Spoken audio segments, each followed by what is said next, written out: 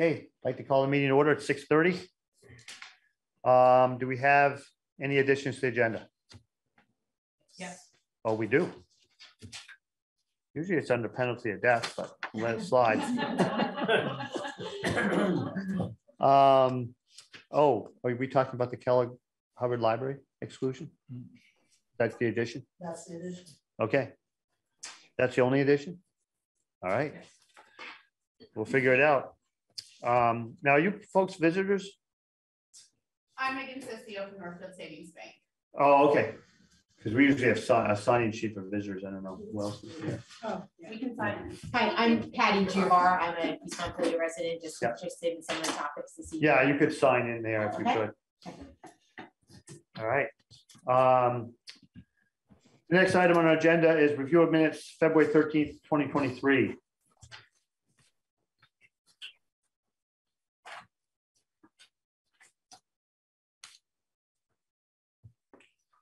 Very good and comprehensive as usual, and I have a few minor suggestions. Um, bottom of page two.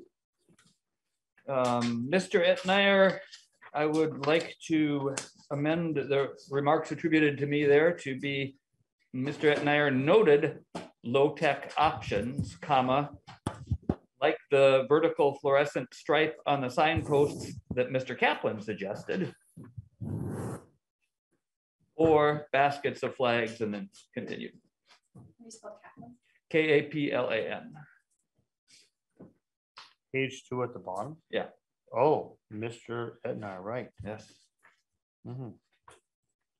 Mr. are you happy with the comment that's been attributed to you, sir? I'm tickled.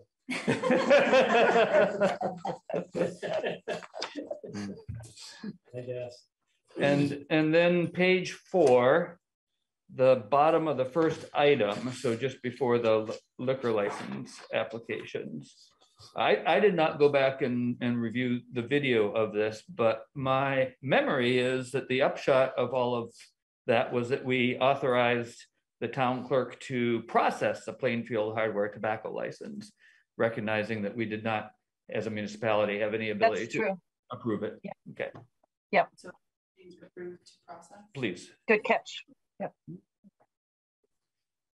And, uh, and then finally, at the bottom of page four, same page. Uh, how, the third line, I guess it's the fourth line from the bottom. Uh, however, the referenced statute is unclear. Uh, as, et cetera, et cetera, so leave that sentence as it is, but then add after member, comma, as are the Capital West bylaws. And finally, on- on I'm page, sorry, could- Wait a minute. could you Yeah. repeat? I, I'm trying to understand the sentence. So it's the sentence that begins, however, the reference statute is unclear as to whether the town of East Montpelier or the East Montpelier Fire Department is the member, yes, and you wanted to add? comma, as are the Capital West bylaws. Is that clear? No, Okay, uh, how about this? Pe- Period, leave that sentence and then add an additional sentence. Um, He said the Capital West bylaws are also unclear. um, who, oh, okay, uh, sure. So this, I would, because we might have forgotten who he is, you might just say, Mr. Eitner, Eitner also said. Mr. Etnier, we would Et- say. Etnier, okay, thank you. But I think it should be Mr. Eitner with an I. You would not be the first. Sorry about that. Um, oh, Okay, But wait a minute, who was looking at the bylaws? Wasn't you? I, I was. Oh, you were? Yeah, Because uh, Petrella was unclear also. Yeah, that's what I was thinking too. right, but no, I was, I was reading the bylaws as we were talking and made that comment. Sure. Okay. And then finally, I, I have not checked in with Mr., with Chair Gardner about this, but uh, Judith, I'm going on my normal presumption that Chair Gardner knows whereof he speaks. And so I think that on page six, under other business, the third paragraph, uh, the second line, Chair Gardner noted that the town would need to change the ordinance to enforce such a sign rather than put up a sign. Does Chair Gardner agree with that? Where's this? I Chair Gardner raised the topic of the parking issues. So that's the paragraph you're dealing with. So it's here. Chair Gardner noted that the town would need to change the parking. Oh, yeah. limits To enforce such a sign. That's, that's what I said. Yeah, Yeah, Right. Yeah. And that was my understanding of the ordinance. Yeah. Of the lack of an ordinance when you put up a sign, you Right. can't enforce it. Right. Okay. Right. Yep. Yeah. Okay. Are you done? I'm Now, done. what about your, um, uh, I That's want to in say there. comment. That's in there. Oh, that's in there? Yeah. Is it accurate? You, can- yeah, yeah. Okay, okay. Um, I suggest you take it home and study it. oh, I definitely will. Yeah. Yeah. It's a, it's pearls of wisdom, basically. Um, do we have any other comments on the select board minutes of February thirteenth? Good minutes, long meeting. It's great. Okay, that was your comment? That was my comment. Okay. Judith? I'm all set. I, I make a motion, we uh, approve the minutes with the amendments Carl uh, mentioned. Second. All those in favor, please say aye. Aye. Aye. The ayes appear to have it, they do have it. All right, minutes are out of the way. Uh, public comment is the next thing on the agenda. I see a lot of public here. Does anybody want to talk under public comment, or are you here for a specific item? Uh, specific item. Okay, good enough. Um, okay, six forty is review Northfield Savings Bank Services proposal. Megan Sicchio, is it Sicchio? Sissy. Sicchio, Yes. yeah, that's close. Close, close. Um, Senior VP Yes, Enterprise Banking with Northfield Savings Bank. yes, Can you take the floor, please? sure. Sure. Well, yeah, um, I'll do whatever you want me to do. I'm Okay. Cynthia with Northfield Savings Bank, and I've um, been with the bank for thirty-one years. And I presented an RFP um, proposal to um, Michelle and Gina um, on behalf of Northfield Savings Bank to um, potentially have the town of East Montpelier um, do their banking with Northfield Savings Bank. So I've given them the full RFP. Not sure exactly what you would like me to touch on. I'm happy to touch on whatever Uh, points of the RFP. Well, what specific items are we gonna talk about as far as Northfield Savings Bank go? We always have, um, They would take over general operations, so we would essentially want to close everything that's an M T. right. So do we need to go through those things line by line? The services? I'm not sure how you all have evaluated banking options in the past. Well, generally what happened is the treasurer came to us and they talked about it for a while, and that's basically what we did. And we didn't actually have representatives from the bank come in. Um, but this is probably a little bit more thorough or comprehensive. Um, but we had to identify what we needed from the bank. So we, we need a checking account, we need and I- a sweep account, we Yeah. need the, And we have gone through, Yeah. Megan has seen all of the current account structure that we have, and Northfield can obviously provide what we need. Um, In addition to the added benefit that the fraud will stop, because we will be closing our current account, um, because the fraud has not slowed down at all. Mhm. Or fraud attempts, excuse me, I should say. Um, But Northfield has some better investment options, has lower fees. Um, We didn't necessarily quantify all of that, but um, overall just feel more comfortable with uh, Local bank. this relationship. Service. yeah, that's been kind of a push on the section for a while, and we have a local bank. But, um, Don was always telling us, we didn't have the million dollar something, something, I can't remember what it was, but there were a lot of, there were some drawbacks he felt to go into a local bank. Yes, Seven fifty-five, what's that, seven fifty-five? seven fifty-five? Yes, Okay, yeah. Um, it might be sooner, sir,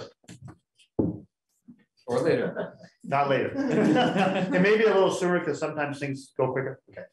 Um, so in the banking business, I can't remember the drawbacks to going to a smaller bank, because that's basically what we'd be doing.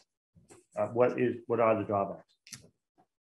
I don't think So so. we're actually the largest bank headquartered in the state of Vermont. Yeah. Um, and we've been in business for over hundred and fifty years. Yeah. Um, and I had actually previously done an RFP for Dawn, but that was when it was, um, still Peoples. And you were comfortable with that initial transition from um, Chittenden Bank to Peoples, there was still a, a deeper local presence.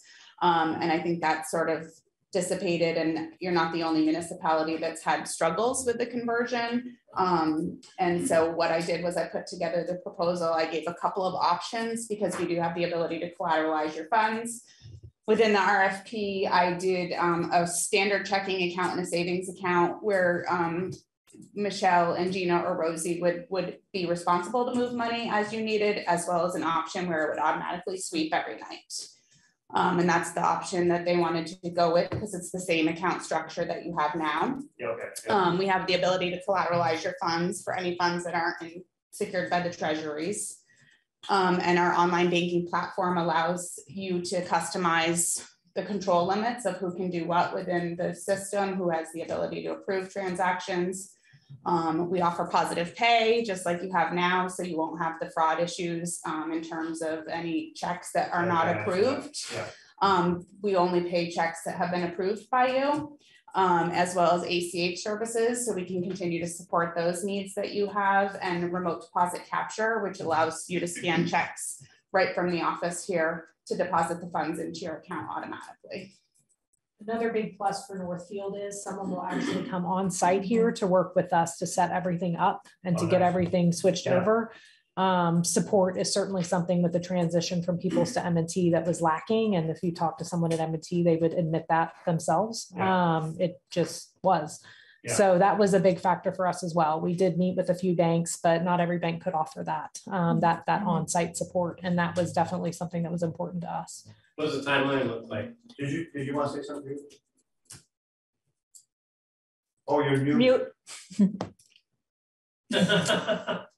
Uh, Thank you. I just wanted to make sure I understood the two recommendations from the bank and then the one that um, um, Rosie and Gina, or, or excuse me, uh, Gina was recommending um, that we go with. So looking at the um, the document and kind of the first recom, uh, the first comments um, blurb, um, I think that's on where'd it go? Um, Yeah. Thank you, thank you. Um. Page, page four, it says there are two recommended options. The first would be to establish an enterprise checking account with interest, which includes a free business money market account. So that's the first option. Correct. Is that correct? Okay, and so, um, and then the second option is the cash, cash management sweep option, correct? Correct, yes. Okay. And so I, I guess I'd be interested in why Gina, um, the cash management sweep option is kind of the better option of the two from your perspective. With that one, we are not really managing the cash ourselves. So the Okay. bank, you kind of almost go negative during the day as any funds are um, basically any checks are cashed or payments processed. And then at the end of the day, the bank essentially replenishes the account. Otherwise, we would really have to have a cash management system in-house to manage Okay. what checks we're cutting, put the money over. It's, it's honestly a better way, in my opinion, too, because you're keeping the money kind of in your kind of interest bearing and then, and you use it as you need Okay. it. Great, And thank you. sometimes if you're making a deposit, you won't even have to take out of that reserve. You'll have an excess. And so every night that there's an excess, it sweeps the money into the reserve. So it's a two-way automatic. So if you've spent, all of a sudden you have to pay your school tax payment and you do that and you're running negative, it'll, it'll sweep at the end of the day. It waits till all of the transactions, both the deposits and the withdrawals have processed through. And then it'll either sweep to the reserve account or a sweep from the reserve account, whatever's needed for the town. Okay, So that's thank the you. one we're recommending. That Which is sounds what we do today. Yeah, Yes, that's what you did Consistent today. with what we do Right. today. I think the setup is gonna be very similar to what we have now. Yeah. It's just gonna be a better bank. Mhm. Better customer And it's service, more local and you've got better service. And no more fraud. And the other thing too, That's and possible. and I, I, I actually have relayed this, M and T is aware that we are speaking with other banks. Um, and I let our representative know that the other struggle that we have is the M and T platform, the online banking platform is very difficult to use. Um, I pride myself on being able to figure out systems fairly easily. This one is not intuitive at all. Simple things. This is with the credit card, but with the credit card system, I have yet to be able to figure out how to get an online statement to us it- to- or to print and eh, to have it automatically email, I'm sorry, to us. And then even to print it, to select it, it- it's just a very odd system. It's very mm-hmm. difficult to use. Yeah, Michelle has a hard time use it, using it. And that was one of our other big considerations is we simply don't like their platform. Um, and then Michelle's made calls in one day and gotten three different people and three di- different answers when she's having an issue. Love that. So it, you know, I, I happen to use Northfield personally, so I'm aware of their online system. And then Michelle looked at it, you know, that was something that we went with Megan, what their online platform looks like. And that was actually one of the driving factors as well for Yeah. choosing Northfield. I mean, I use it myself. I'm happy. with it. What? So. Yeah, uh, Carl, and our- Yep. So uh, as Megan knows, I'm a customer at Northfield, oh Megan. Um, I, I have a, a question about what other banks you interviewed and what of the other banks you interviewed, why Northfield uh, percolated to the top, why you're only presenting the, the one alternative to us. We met with Community Bank and Union Bank. Yeah. Um, Union Bank is very small, um, has only one branch in Barre. They Um, didn't have very municipals either. They had really no experience with municipals. they're trying to get into municipals, but they do not have a lot of clients currently. They also, because they are so small, did not have the ability to have someone come in on site, support us through this transition. So those were the big factors there. Yep. Community Bank was second in line. Um, overall, I think the real factors there were Michelle really liked the online interface with Northfield a little bit better than what we saw with Community. Mhm. Um, and, and frankly, we just felt a greater rapport with, um, with Northfield, um, as well and with, uh, with they, what they could offer. Right, okay, very good. And, and then who owns Northfield Bank? We're a municipal savings bank, so we're owned by our depositors. Yeah, okay. Not a stock bank. And within the RFP, there were um, references from other municipalities. So that um, if you wanted to call references as well as your um, CPA would give a reference. We actually discussed this with with the town external auditor as well. Oh, um, good. Some of the challenges were when we met with Chad and, Um, um, you can highly recommend. yes. Thank you. So, Yeah, I, But I many do people- I mean, one biggest thing that I like about Northfield Savings Bank is customer service. I mean, we use, I mean, you can actually talk to a human, snap of the fingers, get an answer. It's just, it's, Yeah. it's it's a, it's a lot of ease. I agree. Uh, got more questions? Hey, hey, Seth, can I ask a question? Sure, you can. I don't know who you are, but go ahead. Uh, You're kind of dark. yeah, I know. A- Amy, Amy set this up. Can you blame that on her? Yeah, we see a silhouette. Yeah, I know. I'm, I'm in a, I'm in a dungeon, so I'm in, I'm in Carl's basement. She locks you up before she leaves. Exactly, Exactly. Um, Slice of bread. yeah, the Unitarian congregation Uh, uses, joke- Joking aside, would you introduce yourself for the record? yes, uh, Scott Hess, um, citizen on North Street and is a resident of East Montpelier. Um, just a quick question. Um, curious about your, the cash sweep. Um, since it's a competitive environment and, and, uh, the rate structure is obviously different than a year ago. What, how many basis points or can you, can you just describe a little bit about our idle cash that's swept? And, and what type of, um, rate structure or, um, i- i- interest, interest bearing we can, we can anticipate? Am I allowed to- Yeah, go for it. Thank you. Um, because of the balances within the account and the fact that they exceed um over a million dollars, the average collected balance. Um, we look at rates as often as once a week traditionally, and the rate is currently for over a million dollars. It's a yield of one point two five. The rate is one point two four. Okay, um, and maybe a little, a further question. Um, is there opportunity to make investments in short-term um, investment vehicles? For instance, if we knew for the next month we weren't going to use five hundred thousand dollars that we could, that we could purchase T-bills that are now, you know, somewhere around four hundred basis points? Is that, is that an option that would be available for, um, for East Montpelier? If the town wanted to do that, I don't know what your um investment policy is, but I do have a um page within there for Northfield Investment Services. Mhm. Um, that we could, and I have offered um that we could have an investment advisor come out so that you could look at options for some shorter term investments that would still provide you with FDIC coverage. Or some collateralization that the town should require for all of their deposits. As well as I did um, include within the RFP, I had actually done the RFP, um, I think it was back in October. And then we updated it um, because the rates had changed and some of our CD specials had changed. I've also put the nine month CD special here for any excess funds if you wanted to keep them collateralized within the bank. And that nine month CD is paying three and a half percent today with a minimum balance of a thousand dollars. So the, the benefit of municipalities is we have the ability to collateralize funds in excess of two hundred and fifty thousand dollars where most borrowers are capped at that two hundred and fifty thousand dollar coverage limit through the FDIC. Unless you have a ICS or a CDARS account with the municipalities, we can guarantee the funds on deposit. Okay, thank you. So certainly, certainly opportunities for a lot of excess income at this point for, for the town. It's, I mean, it's real money at this point. Thank you. You're very welcome. And that would be up to the town and the select board in terms of your investment strategy. Yeah. We can look at that later. How big is our investment policy?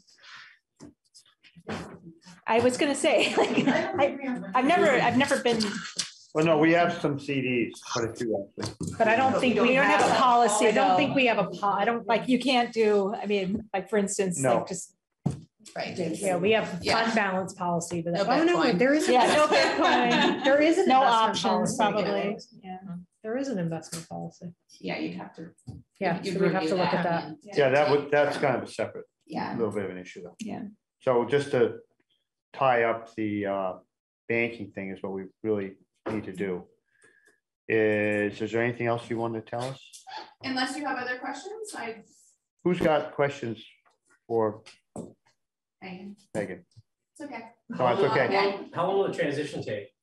Um, so basically what will happen is I have all the paperwork with me that in the event you approve it, I'll leave it with Michelle. She'll, she'll get signatures. Um, and what we'd like to do in this situation is we'll get everything set up. I've actually already, already, um, got the platform sort of built, waiting for you to give the green light so that we'd have your, um, positive pay, your ACH. Yeah. And your remote deposit capture will come on site. We'll load the new scanner. We're providing new scanner for free for you. Um, so that you can get rid of your old scanner and we'll get all the checks ordered so that when you're ready to go live, we'll be able to work with um, Michelle and Gina to get the files, the ACH files rebuilt for all your um, records.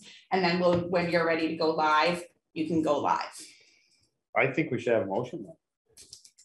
So move. We have a second? Second. The, the motion is to Transition to Northwood Savings Bank. transition our banking services to Northfield Savings Bank as recommended by the to- uh, municipal staff. Is that correct? Okay. Okay, Sounds good. Do we have a second? Yeah. Oh, Amy seconded? All those in favor, please say aye. Aye. Aye. The ayes appear to have it. Did you say aye, Judith? Yep. Okay, the ayes appear to have it. They do have it. It's unanimous. Thank you. Thank you. Thank you for coming in. Thank you. yeah, I- Sorry, I do smell like popcorn. It's been very odd. and I can smell it on myself, so I do apologize. I, yeah, I, I- I just want to say, we, as you mentioned earlier, Seth, we've been talking about getting our money into uh, the Oh. local bank for a long time, and Yeah. I'm really glad to see us take. I think it's a good move. There's no question about it, especially with the problems we have at M and T. I mean, Yes. People's was different. Once you move to M and T, it's like, this is all going downhill in a Yeah, hurry. yeah. So. Okay, six fifty-five, we're right on schedule. Sullivan and Powers FY twenty twenty-two audit report presentation. Chad Hewitt is here, I believe. Sit in the hot seat. Can I- Sure. can I have you? Yep. Thank you. Bye. Thank you. Bye, Yep. you. You too. Chad, I bet you're gonna fall over your seat there when they were saying there wasn't any investment policy. Oh, Where you really going? I guess we've got one. I really, I really thought there was. We have an investment policy. it up for Thank it. you. This is exciting. We have an audit report. It's awesome. It's so hot. Came out of the Yeah. Exciting stuff. Wow. So, um, hi, my name is Chad Hewitt. I'm, I'm one of the partners at Sullivan Powers and Company. And actually over here is this uh, Jordan Plummer. He's, uh, he's another partner. He was, he was still working at the office tonight. I said, hey, come with me, meet these people. So, so both Jordan and I, uh, actually worked, worked on the audit with a couple other team members. And, uh, actually at our office, we actually have, uh, two other partners actually work on it, just different segments of the, of the audit. So but this is the first year, we've been doing the uh, town audit now for six, seven years, maybe? Since twenty fourteen. Yes, okay. Who's the It- longest one you've been with? Uh, this, this, this, this, this, uh, town up north, uh, you've ever heard of it? It starts with an H. I'm not, I'm not sure. I I can't remember the name of it. so.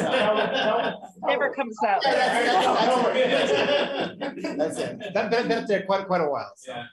So anyway, in, in the past, uh, um, Bruce has said, oh, the select board, they, they don't care about the audit. We, we don't, we don't need to go over there. So, but this, this year, Michelle, Michelle and Gina asked us to come and, and present and, uh, um, but so just, just starting in, again, I'm sure you guys have read this cover to cover. Well, we just got it, really, right? Or is it, No, we got it. Yeah. Oh, Oh, yeah, so, so do you, do you again allow us time to read this? oh, absolutely. No, it, it, you know, it'll, it'll put you to sleep. so. Oh, really? Yeah. So, uh, so actually, so on a, on a serious note, um, again, you, you have here a, uh, a 50 58 page document here. And, uh, there's a lot of, there's a lot of information in here, but what I want to, what I want to do is actually just kind of point out, point out a few things here. Um, pages, pages one through five is, is what's called the independent auditors report.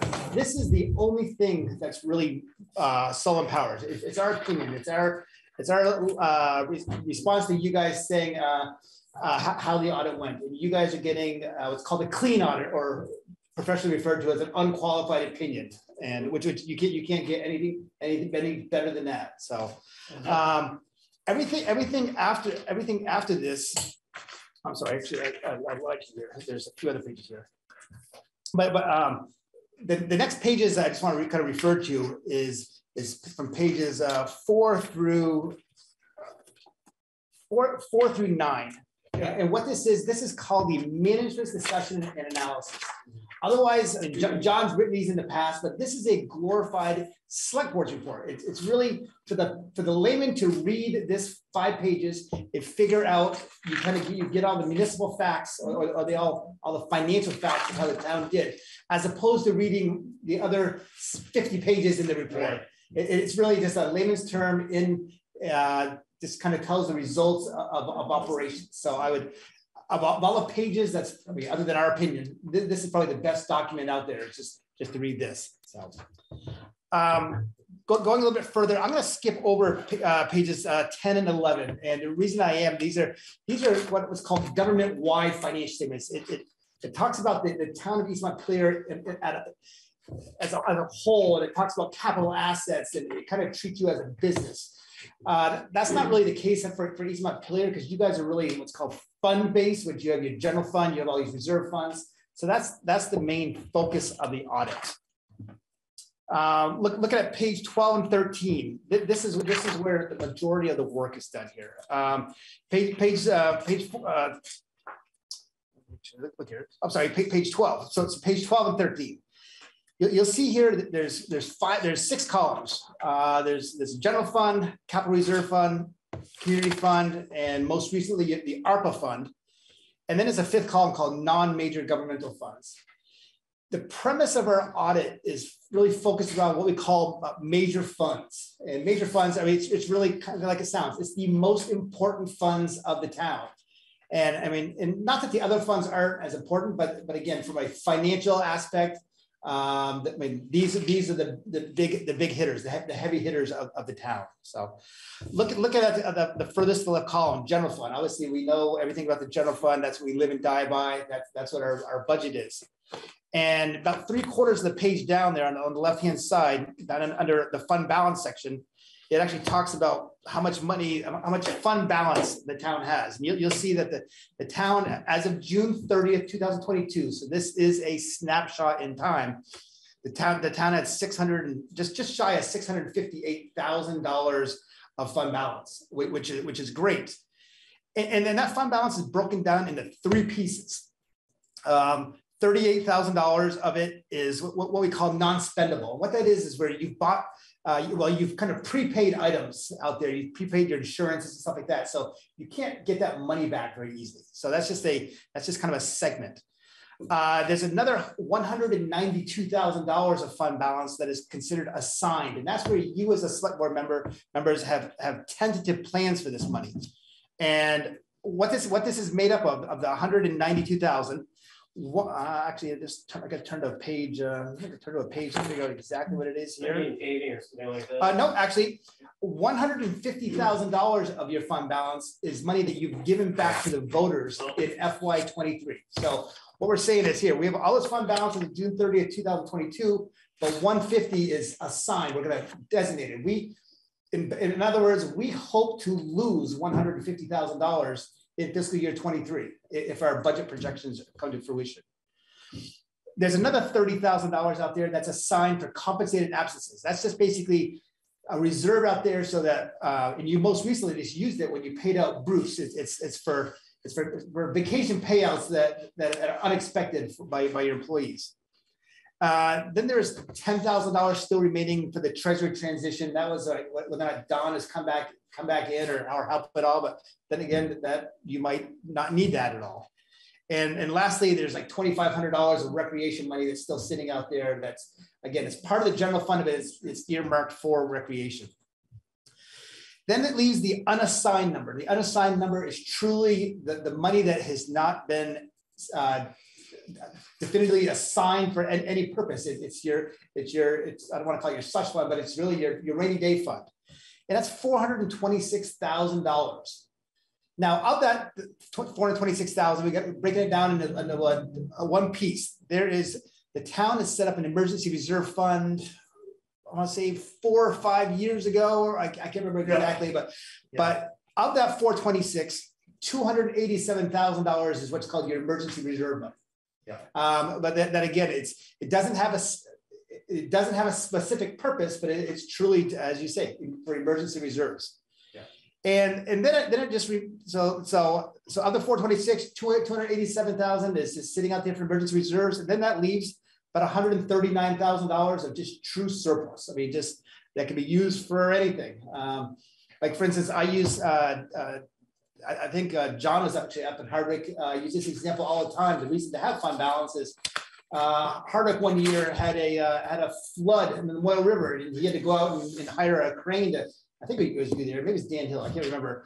I had to hire a crane to beat up the ice in the river. Well, they obviously didn't budget for thirty. They didn't have a budget for thirty thousand dollars, but that's why you want to have uh, fund balance. And uh, so it's just stuff like that is so having having that reserve, having that available fund balance is is, is good planning. Too. We actually had a town manager one year that, uh, he, uh, he was an ex-Navy SEAL.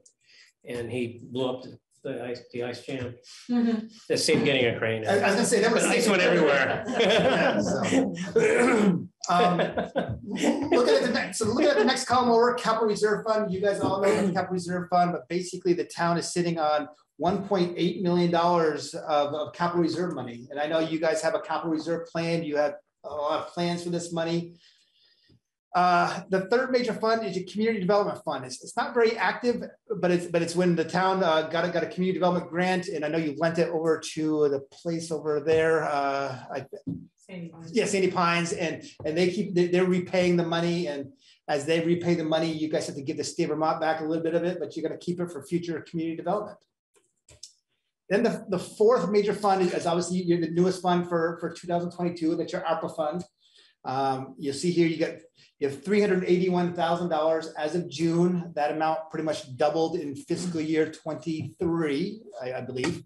Yep, and, uh, and as, as of, as of the time of this audit, you guys hadn't had any, you haven't definitively defined how you're gonna use the money yet, is that correct? No, some. Some, some, some. So then anyway, there's three hundred eighty-one thousand dollars of, of money still out there that you received that you haven't spent yet. And that's why it's, that's why we, we show the asset, but you don't see it in fund balance because we, we consider it what's called deferred revenue or unearned revenue. You received it yet, but haven't, haven't really earned it yet. You haven't figured out what, what it's gonna be spent on. Fifth column is what's called, called the non-governmental funds. Again, we, we spend, we have less emphasis on these funds. There's a lot of small funds. The majority of it is a reappraisal fund. You have hundred and forty-six thousand dollars in there. You have the- your cemetery fund of hundred and twenty thousand dollars in there. Then, then there's just a bunch of other small funds. But again, there, there- there's, there's, uh, there's schedules in the back that kind of show these, these, these non-major funds, but again, they're, they're not as significant. Uh, I just want to turn a page to Exhibit D. Exhibit D is like, it's like, Exhibit C was, was basically the balance sheet of, of the town. Exhibit D is a, it's basic, in other words, it's your income statement. It's, it's also referred to as revenues and expenses and changes in fund balance. Um, it- it's a kind of a global look uh, of, uh, of the town's finances, but but I'm gonna look just about near the bottom, bottom section here. Um, the, the third line up, you'll see a line that says net change in fund balance. And really what that is, that is the, essentially the profit or loss uh, for the year. And you'll look at the general fund there and you'll see the general fund lost eighty-nine thousand dollars. And you're going, oh my God, we lost eighty-nine thousand. But remember, the town had budgeted to lose one hundred thousand dollars because that's what, for this fiscal year, you gave back to the voters hundred thousand. And when you, when you give money back, that's essentially, you want to lose that. So you came very close to your budgeted projections of, and um, and then your, your capital reserve fund, you'll see there, you made, you made, you actually had a positive surplus of three hundred thirty-two thousand dollars. Well, the capital reserve fund, the money comes from the general fund, so four hundred and forty-eight thousand came into the capital reserve fund from the general fund, and you only end up spending uh, between, I think you spent about hundred and twenty grand of it, so therefore it- it, your, capital reserve fund balance actually increased by three hundred and thirty thousand bucks. Community Development Fund didn't really have, again, uh, pretty much fifteen came in, you sent the state back seven, so the, the, Community Development Fund didn't change much. And then, then you'll see the ARPA fund. The ARPA fund, there's no, it doesn't show any revenues, expenses because the money is still on the balance sheet, it's sitting as, as deferred revenue, if, if you will. Um, The other focus of the, of the audit, I just want, I just want to, uh, from a, from a, um, more of a fine line, getting into the weeds type of uh, detail, turning the pages 40, 41 through 46. And this is this is a report very similar to what you guys are used to seeing. It's, it's what we call the budget actual. I know on a monthly basis or maybe even every two weeks, Michelle and Gina hand you a, a, a budget report. I, I know John these over and over, but basically it shows what the town budgeted and, and what the actual res, result, results were. And one of the things that's again getting really kind of neat is getting back to my initial uh, initial comment is that when Michelle and Gina wrote the management discussion and analysis, that they actually tell in here why there are large variances. It's like, like for instance, um, uh, state aid to highways, we- got eighteen thousand dollars more than that was planned, and then I think they described in it what there was. The state of Vermont handed out uh, extra supplemental supplemental payments. Um, property taxes were actually under budget. Well, that's because more people uh, were, uh, were, were delinquent at the end of the year than, than the prior year. Um, you got some you got some unbudgeted uh, grants for uh, Emerald Emerald Ash Borer um, um, work, and then there's then, then you go to the expense the expenses. Uh, municipal employees seventy two thousand dollars more. You spent seventy two thousand dollars more than actual, and that was a lot of that was uh, Gina coming on, Michelle coming on, also paying Bruce uh, while he's here. So those were unbudgeted items, and uh, and again, there's I've always stressed this before is that there's there's never anything wrong with going over budget. The biggest question is the big- biggest thing is just knowing why. And I, I mean, obviously that the town is well aware when Bruce and Gina were here, they were going to go over budget, but then again, they saved in other areas. So, but looking at Schedule One, there's there's a few vari- there's variances up and down in, in many areas uh, of, of the budget. But again, um, the, the the management discussion analysis kind of does tell, tell the whole story. Um, the, the largest, the largest uh, thing was the hi- highway operations. Um, the, the highway operations came in sixty-four thousand dollars under budget. So um, you can thank you can thank your road foreman for coming in our budget to pay to help pay for the additional salaries. So I mean, obviously. Uh, um, you, you saved a lot on salt because that's that's a that's a timing thing. Um, saved saved on chloride, but obviously mud season last year kicked you in the butt because of uh, because of the mud, and that, that happened that happened everywhere. So then there's just a lot of lot of areas were just under budget, so it's just it just accumulated to a to a, a large amount. So. Um, so, so again, th- those those are the, schedule one is more of the finer details of the audits. So, um, and again, it's it's got great analysis. The last thing I guess I just want to just want to give uh, the, the readers uh, some insight on is, is what we call our footnotes. And, and so really that is pages 17, 17 through 40. And it's, it, it's really is, it gets down into the, the finer details of the audit. It, it kind of tells about Like for instance, uh, I guess in the details about your cash, tells specifically how much cash you have. How is it, is it collateralized? Is it, is it got FDIC coverage? Is there anything that's restricted? Um, again, it gets into really the, the, the bigger, the big- bigger details of cash. It talks about your receivables. Uh, how the receivables broken down? Is it delinquent taxes? Is it grants? Is it fees? Um, and again, there's kind of every aspect of the audit It gives you gives more details. There's a lengthy, lengthy uh, disclosure. John's seen this. He could probably recite it about the state's pension plan. I mean, there's there's like five pages of disclosure about about VMERS if you really want to look at it. So it talks about the town's debt, the town's fixed assets. Um, so there's a lot of there's a lot of uh, detailed information in the footnotes that really just kind of support the overall global numbers of the town. So. So those, those are the highlights uh, of the audit. And again, I know that was uh, a, a quick version and, uh, but, but again, I just think the town is, is well, well funded. Um, and uh, again, there's nothing better than unqualified, unqualified opinion from us. So, so congratulations on that aspect. So.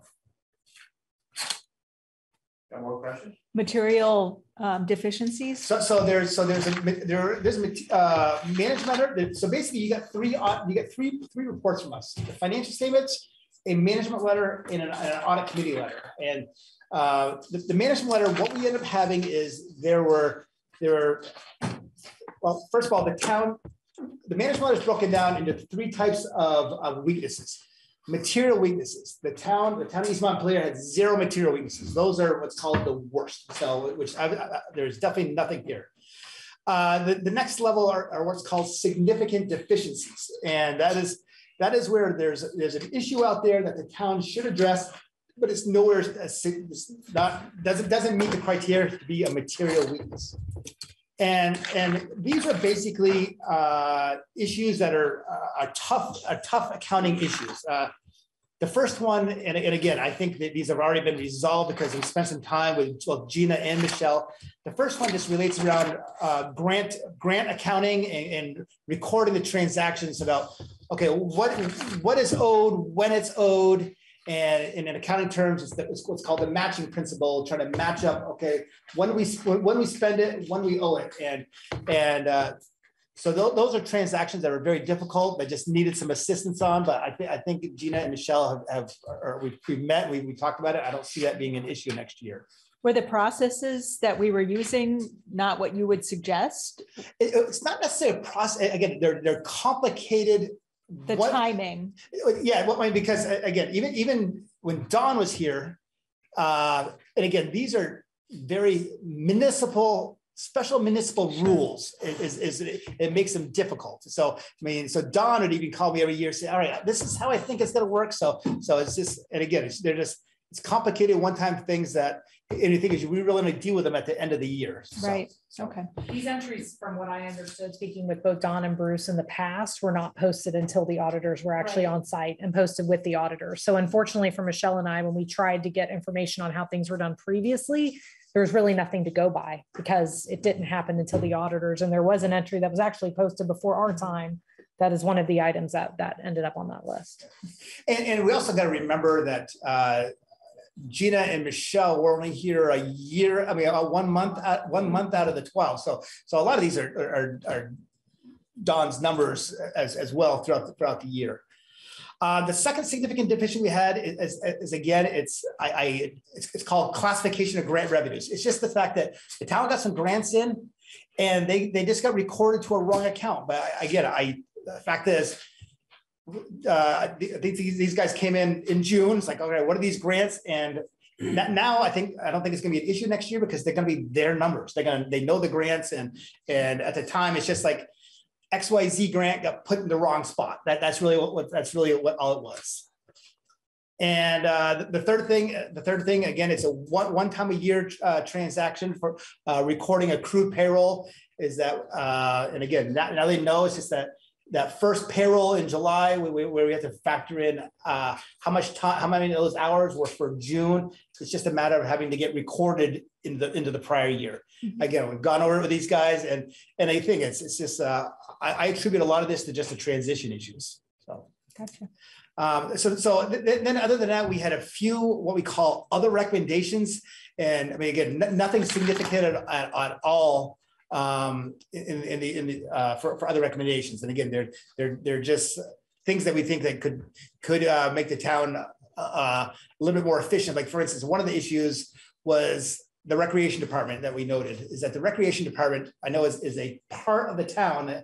I know sometimes they kind of act uh, autonomous, but uh, like, like when we were reviewing their, their, their activity, it's like, okay, I wasn't seeing the deposits only about what, once a month. And it's like, okay, we got to get that money to the bank sooner. We got to get that money to the town. So, so again, that, that was, that was just, it's not, a it's not a significant deficiency. It's just, it's just another recommendation that we have. Um, Another thing that we've, we've talked about, uh, talk, I talked with Gina and Michelle about is, is a, a fraud risk assessment at some point. And, and what that is, and I'm not, I'm not saying there's any fraud here at all, but it's, we, we recommend this to every single municipality is that, is that you kind of have a sit down brainstorming uh, session with, with everyone to figure out where can the town be beaten? And we, you need, you just document it. I mean, um, I mean, I like to come in and think of, like, what, actually, when I come in here, I'm, th- I'm thinking as I'm walking through the door, how, how can I be a crook in this place?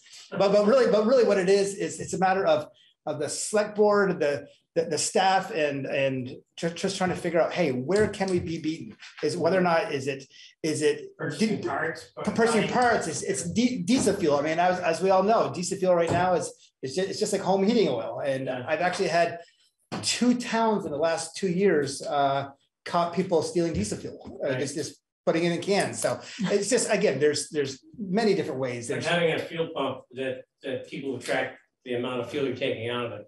But if you have a whole bunch of people taking fuel out of it, it's pretty hard to track who's doing it, but every single month you have to quantify these little kind of, slips. kind of reconciliation, but, Right, and that's what it is. It's, a- it's, a- it's a, it's a fraud And a assessment. camera. Fraud, fraud assessment is just trying to to figure out where can we be beaten and how can we, how can we, uh, how can we mitigate it?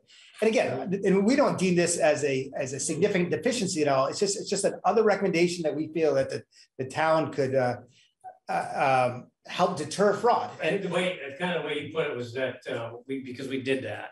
And, and the way he put it was that anywhere people can handle money, touch money, have an opportunity to just get money, but we, we- we have library, water, wastewater plant, you know, all kinds of things are taking, taking place in those places. So we looked at that, we looked at the fire department, you know, just sat down and talked to them, said, hey, where do you handle money?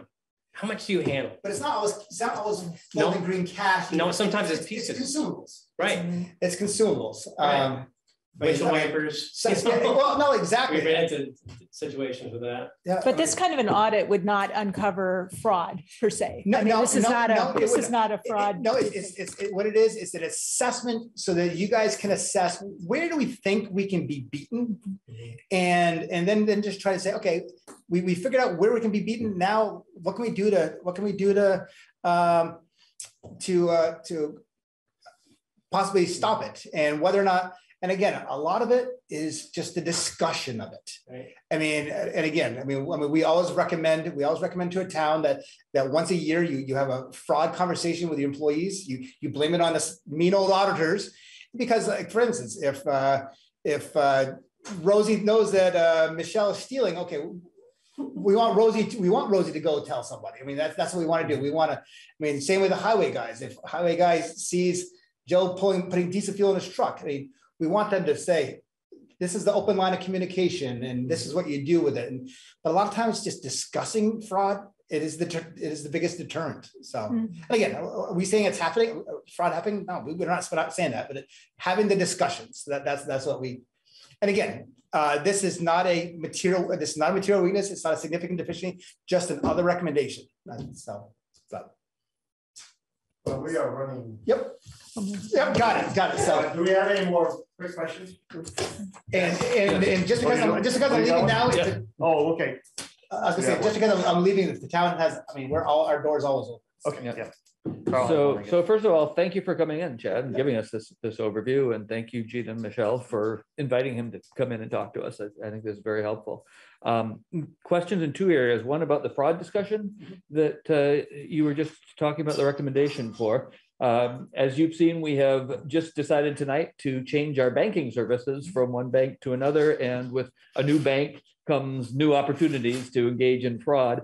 How long after we make that transition do you think would be uh, for having that fraud discussion in the new environment? Well, I, I think there's two different fraud, types of fraud here. I think that what, what Gina and Michelle are dealing with fraud from the bank is outside people, vendors trying to, I mean, they showed me some of the checks where the scam artists are trying to get your money. And that's what, that's what the fraud that the bank is gonna handle. The fraud I, I'm actually talking about is, is really internal, I mean, internal fraud with employees and stuff like that. So it's really just two different types of, of things. So the, quite honestly, the banking aspect doesn't, doesn't really affect the conversation we have internally. So that, thank you, that's one. Yep. Uh, the other is that you had, had mentioned, if I understood you correctly, that there's nothing wrong with going over our budget as long as we know why it happened. Yes. Uh, in, well, currently, we are having votes, uh, uh, taken every day coming in on our budget for the next fiscal year, and those will culminate on town meeting day. Uh, could you describe as an outside auditor, how you see the town's vote on the budget that we've put before them? How does that vote constrain what we as a select board do in the next fiscal year? I'm sorry, I guess I, I'm not understanding the question. I'm sorry. Um. Okay, so we propose a budget. Yep, you propose a budget. Town votes on it, it, let's presume that it gets voted in. Mhm. How does that vote limit what the select board does in Oh, terms of spending Okay, money? I would say that it doesn't limit that. So let me just give you an example. If it snows every day two inches, you're gonna go over your highway budget. Diesel fuel, salt. I mean, you're better off having four three-foot snowstorms than 40 two-inch snowstorms. So, but again, and if you do, if you do go over your budget, it's like, that's, that's where, that's where these guys are gonna say, all right, we're, we're going over budget, now let's find ways to cut. And it might be whether or not you're cutting in different areas and, and, but, I- but again, another example I, I could use that uh, Rosie could go over on her office supplies because the interest rates are down to two percent.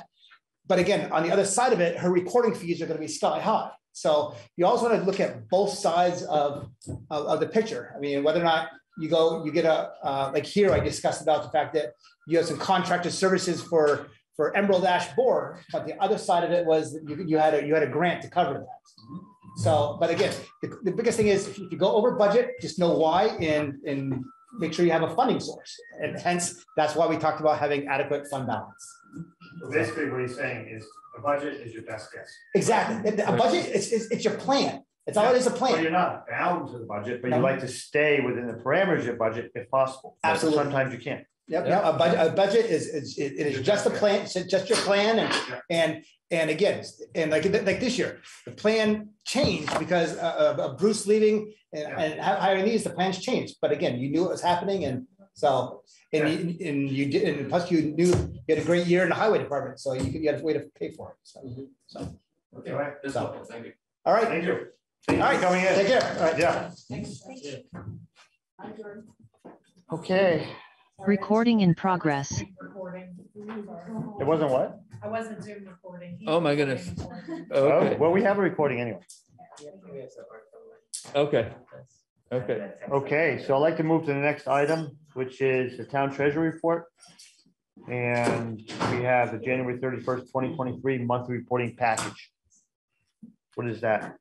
That's something that we have to look at. That's what Chad, that's what Chad was just referring to. Yeah.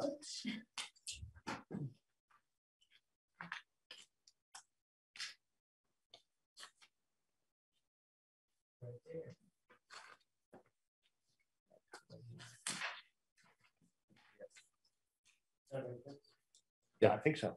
Yep. Yeah. yeah And do we have any red flags here? Straightforward. Okay.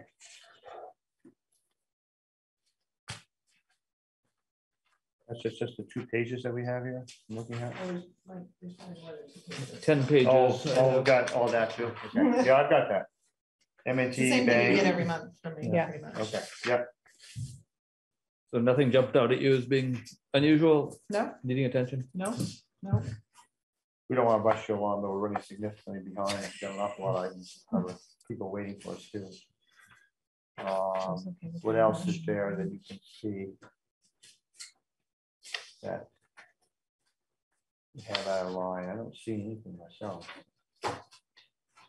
Anything you can point us towards, Michelle? Anything what? That you can point us towards in, uh, Um, I was just gonna discuss the delinquent tax numbers with you. oh, yeah, that's a good idea. Okay, Sure. um, so as Yeah. of the twenty-second, we're trailing a bit behind last year. We're at a hun- about hundred and eight, almost hundred and ninety thousand in outstanding taxes. Of that amount, hundred thousand are just the current year late and eighty-nine are prior year delinquents, which is more than last year. Last year, there was only sixty-three thousand at this time in delinquents. And we So, did- Yeah, Yeah. What was it last year? How much? uh, sixty-three, just over sixty-three last year for delinquent. Did you happen to look at um, the last five years or so? No, I didn't Because go back. my Well, actually, I- experience I did looking at go that in the back. past.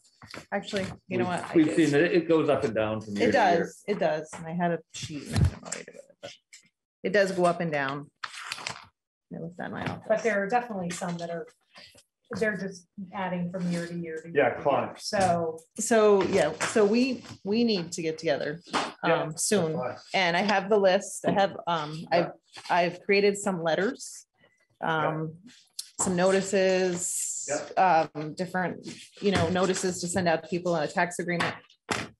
Based on our policy, but it's a little bit different. So I just want to go through that with you and look at the people in the list and then kind of talk about the process. Yeah. And, you know, the thought was Michelle would kind of go over, because Seth has some experience with the way this has been dealt with in the past, to go We can do over it. some of her draft letters and then obviously present to the select board the next steps of how communication would then occur with the delinquent tax individuals. So we've, we've followed a process for these tax sales in the past.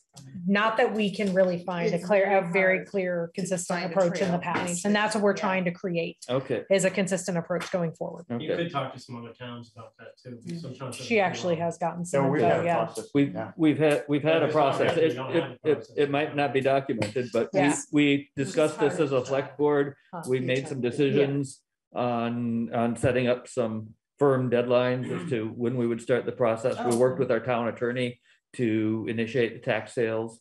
Uh, so I think a search of the minutes would give, uh, give some indication of what that process was. That's, that's if we get to tax sale, but there, we're not at that point yet. Oh, I thought that's the, the point that you Well, wanted it will to. be eventually, but we need to get to the point of tax sale with all the letters and the, the notices beforehand and then Okay. setting up the payment agreement. Okay, I haven't found Okay, any true got it. payment Right. agreement. The policy Got it. should take, should take place right when people become delinquent. Yeah. And then when do you know, when do you notice them? How often do you notice them? Do you offer them a contract? What if they don't pay the contract? You have to have that all in there, and that's before they go to tax. sale. Exactly. That's Right. exactly where we are, Yeah. what we need to get some Right. clarity Yeah. on moving forward. Yeah. And we've had a process that we followed in the past. I know, but if it's not written, Just, just what you're it- but if enumerating, it's but I not, don't know why it's not written down. if it's not written, was. it's not, it's not a true process, because Yeah. it can change for any individual person, and it shouldn't be. It should be treating everybody pretty much the same. Agreed, hundred percent agree with that. Right. And, and we went, uh, when we, uh, transitioned from having a separate elected delinquent tax collector to incorporating it into the function of the town, uh, man, uh, town administrator at the time, uh, then one of the comments that we made was that we wanted to go from uh, personalized attention to each person to having a, a set of common rules for every taxpayer. So we can work on that, but we don't really have the time tonight to work on No, but that. I can, I can Yeah. email you everything. Yeah, yeah, All of you, everything, and Yeah. we can we'll work Start it. talking about it, okay. That's good, I'm good with that. And then And the do you want next thing. Oh, yeah, you go ahead. Okay. So we, the RFP is technically up for the external auditors. Fiscal year twenty-two was the last year in which Sullivan and Powers was engaged to be Yeah. are the town auditors. Yep. Um, we asked Chad if he could create an engagement letter for fiscal twenty-three to keep them on for at least one more year as an auditor and delay the RFP process. Yep. Um, for the simple fact that they have been doing the audit since twenty fourteen. Um, they have a lot of history and know how things have been done. It would be very helpful for us, given that there isn't a lot of documentation of certain things. If we can tap into their knowledge for fiscal twenty-three, so I presented that to the board. Only makes sense. Yeah, it, it's, when you're changing so many things, it makes sense to keep audit, external auditors Yeah. stable. Yeah. Um, so that's why we would like to have them continue through fiscal twenty-three, and then we could consider, of course, an RFP at that point, and they would be in the, in the running with everybody else, but I move to accept the Sullivan and Powers engagement letter for the fiscal twenty-one guys- audit. Yeah, they have to it. Sign this. Is it, is it, they go I think? I can sign it by then. Wow. It went up six hundred dollars from 600. fifteen four to sixteen thousand. The budget for fiscal twenty-four Okay. is, uh, which we'll end up paying in fiscal twenty-four is sixteen five. I So- don't think they raised it for a while though, did they? They've only gone up about three hundred dollars every year. This one's a little bit more, but that's kind of understandable. We've had discussions with Chad, obviously, just with everything else, getting Yes. people's difficult. Yeah. So, You know, authorize town administrator sign. Yes, that, that was part of the motion, yeah. Okay, Thank you, so we have a motion on the floor then? Yes, we have a motion on the floor. We have a Second, is there any further discussion about the audit? All those in favor, please say aye. Aye. Aye. The ayes appear to have it, they do have it. Um. Oh, and then the delinquent tax collector update, we're gonna put that off. Yeah. We don't have the time tonight to go No, into but I the can weeds send on you, I that. can email the board. Yeah, yeah, my yeah. documents, And then you can take a look and Yeah. then we'll start from there. Sounds good. Okay, you good? Yeah. Mhm. Thank you. Okay, uh, so. The next item is the Village Center Crosswalk and Traffic Safety. There's someone here to talk about that? Oh, okay. Hi, Hi, there's Gina, by the way. Oh, hi. Nice to put you to the name. So we've been communicating a little bit back and forth for a, a little while now. Yeah, so I don't know what has been shared with the board. well, what they have, they have the email, um, essentially from John with kind of his proposal. Okay. Actually does include your email as well. Oh, okay, so, So- yeah, I just wasn't sure what to preface this Melissa, will you please introduce yourself for the record? Sure, Melissa Gorham. We live in the yellow house next to the post office. Oh. So we see a lot of interesting things happening there. yeah. Um, You, so what, what- what's bringing me here today was initially your guys, um, uh, asking for, uh, capital improvements a little while back. And so we said, oh, well, you know, like, hey, this, this crosswalk that we see that it was being held up by the orange cone was getting knocked over all the time and it wasn't really safe and, and all sorts of things. So it kind of culminated and it's really become into, for us, a concern for our neighbors and community members of the traffic safety. Um, we all know that this area is extremely busy. Um, but we have seen a lot of fender benders, major accidents, or have heard, we've seen or heard them of in the past seven years. So we just wanted to raise the awareness to folks that there is potentially traffic issues, safety issues happening. I noticed that the town or the um, did come in and put that, that stripe down. I drove past it tonight on my way here because I wasn't coming from home and it's it's barely, it's barely visible, you know, so I, I understand that folks are trying to work towards something, but, so I will start with um, the crosswalk. Um, we don't use the crosswalk. We, we would like to use the crosswalk, but instead of walking to Fox Market, we will drive because there's, a- there's a concern that within the two traffic lights that hold within the town center, there's traffic coming through, transient traffic at high speeds, and they don't notice us at all. So we just choose, we, we feel safer to get into our car to go. Anecdotally, our neighbors also feel the same way of, we'd love to use the crosswalks that were put in town to increase pedestrian traffic. However, we don't feel safe using the crosswalks going over. So we just wanted to raise that awareness of how, how it's being used in the community. Um, we've noticed that since the the, the, um, excuse me, the sidewalks have been put in, there's been an increase in, in pedestrian traffic, specifically school kids. You know, they get off the bus, they'll go to Dudley's and grab an ice cream or whatever they do. And we, we see a lot more people walking on it. But the concern is that it's just not generally, I mean, we've got a tough area here with Dudley's and the post office and three entrances slash exits from either side that they're commuters, people driving a car, they don't see the pedestrians because they're too busy trying to figure out who's coming out of Dudley's, who's coming in, who's going to the post office. I mean, I think you guys, if you live in, you, you, you see these things. So, un, you know, we haven't seen a major accident or heard of a major accident. Um, but there will be one. And I just want to raise the concern that we as a community should try to think about how can we limit that. Um, the, in regards to the traffic, um, thirty miles per hour rarely happens. We used to see the state police, um, across at the post office all the time. Um, but again, knowing that we don't have, or maybe we do have a contract with them, I'm not sure, you guys will have to tell me. We don't see them as often, so people just, you know, just cruise through. So it's just the visibility of pedestrians and folks on the crosswalk, um, as well as the three to four ways, four ways to engage with the post office slash Dudley's. Um, just two weeks ago, there was a fender bender, somebody ripped off the rear axle and the guy's truck was ripped off right in front of my driveway. I couldn't, I couldn't pull in. You know, I realize we live on a busy route. It's commercial and um, residential transient traffic, but just wanted to raise the awareness that the, the things that we see because we're so darn close to all of it. Um, and just wanted to see if you guys see the same I things. was gonna ask you a question. Do you, um, you know, when you go through Winooski, um, they, the crosswalks there are a mess too. I mean, there's just so many people going through there. Right. They have the ones where you just hit a button and the lights flash and people can cross. Would that help here? Well, we asked, we, that was one of the things that we had proposed to Gina. We, we actually mentioned, I think it was the, the, the flashing strobes. Yeah, Um, in Pagosa Springs, I saw where actually there were flags on both sides, so the pedestrian would carry a flag. Don't know. Um, the gentleman from V-Trans suggested a couple of things, maybe a bump out. Um, I, I don't know. That's not my wheelhouse of what the answer might be. the bump out allows but- people to be more, to, to be exposed without being in the road. Right, right, exactly. And I just, I just don't know if there's a right answer, or what that answer should be, but I do see traffic increasing on that sidewalk. It's already increased since twenty twenty. I mean, we just anecdotally, we just see it all of the time.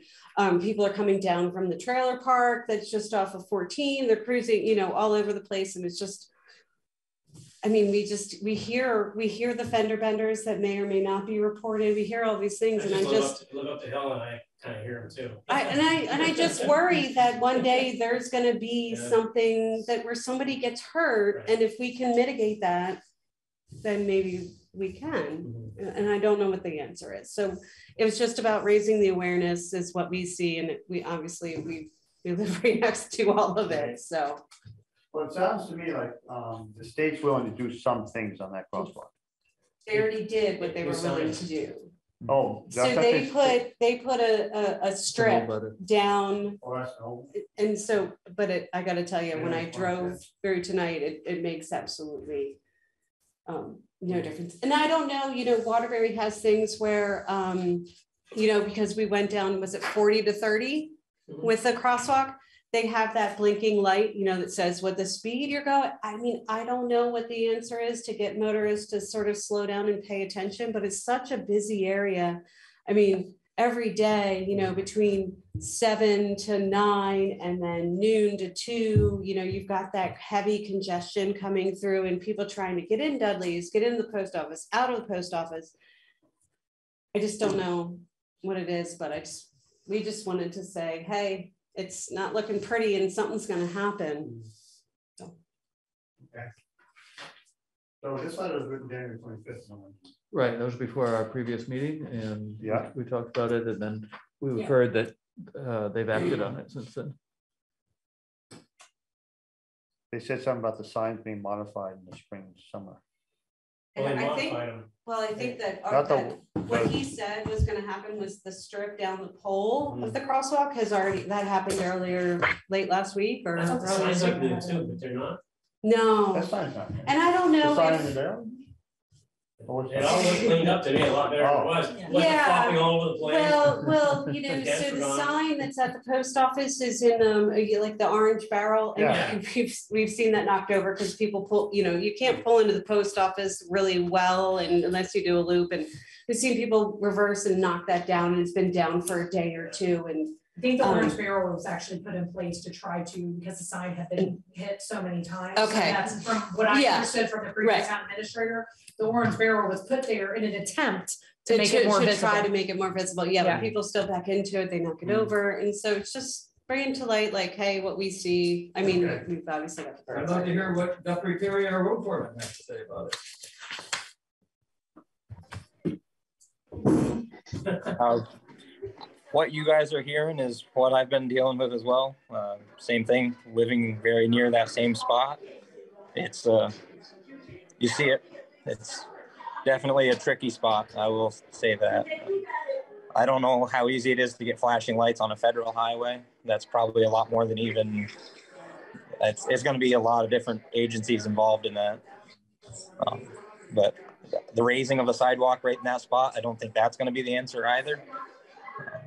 Uh, There's, it's, it's definitely a tricky spot. It's about the only way you can explain it, but I'm open to ideas. Uh, The state threw a couple of different ideas out there, so. Well, it sounds like you could put, we could put the flashing lights in. You just have to apply for the, uh, the permit to work in the state right away. And the town could spend the twelve thousand dollars for the lights.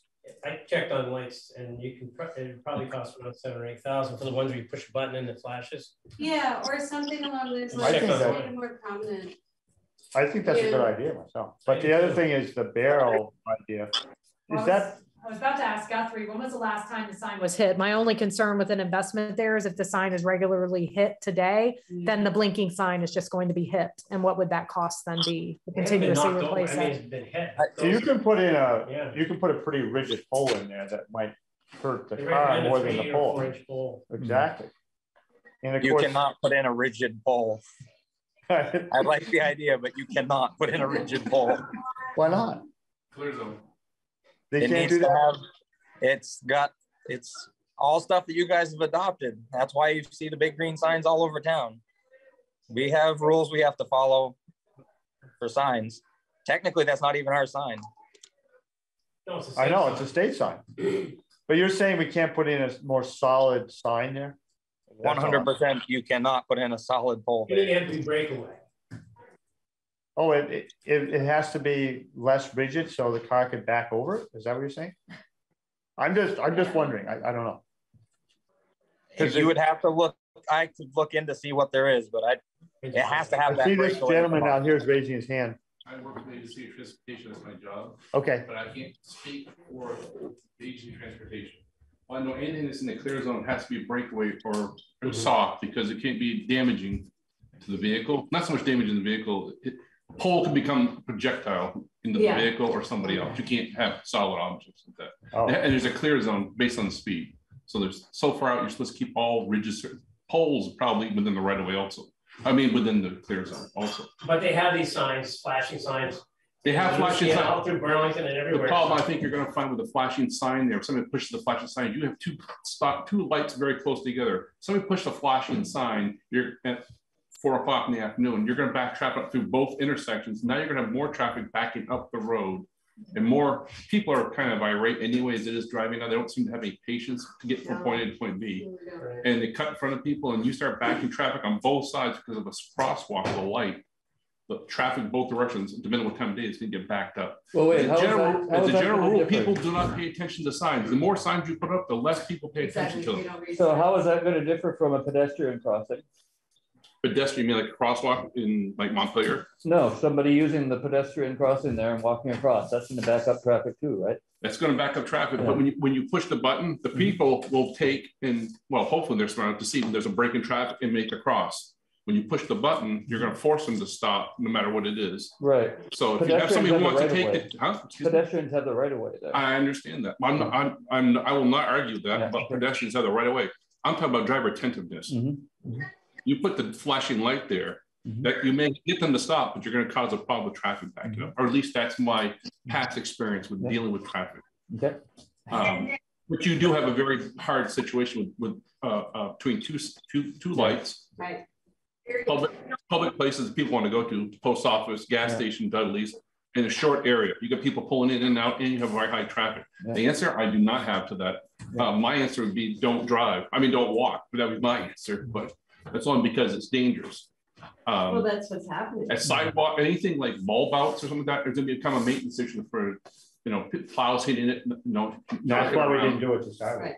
There's a plowing issue. Excuse me? Guthrie, you want to say something? No, I, I, like I say, I haven't seen it get hit by a plow.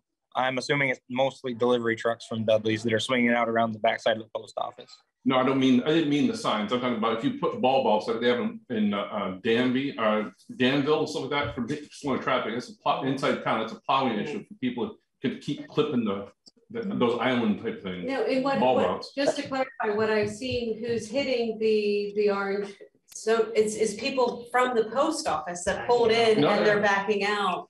Yeah, that's what we've seen. I see them do it. Yeah, Yeah. you're just like, huh, yeah, but they're not, um, and it was very new, they weren't used to it, but. So Guthrie, you poo-pooed the idea of a raised sidewalk. Could you explain more about that? Yeah, so we had done that study up on Towne Hill possibly too, where they were gonna raise that entire intersection, Towne Hill, Gallison Hill, Brazier intersection. Yeah. And it just kind of gives us a little bit of awareness. I, I don't know if how much, it's the same thing, you're interfering with a federal highway, so no matter what we do there, there's gonna be some hoops to jump through, but it's something to think about that just brings awareness, especially with the regular commuters that go through there. And if there was a raised sidewalk, even if it's only an inch and a half or two inches over a matter of six feet, it's gonna be obvious and memorable. Okay, so, so your, your objection to that idea, and and I'm sorry, I misspoke, a raised crosswalk is what I was trying to say.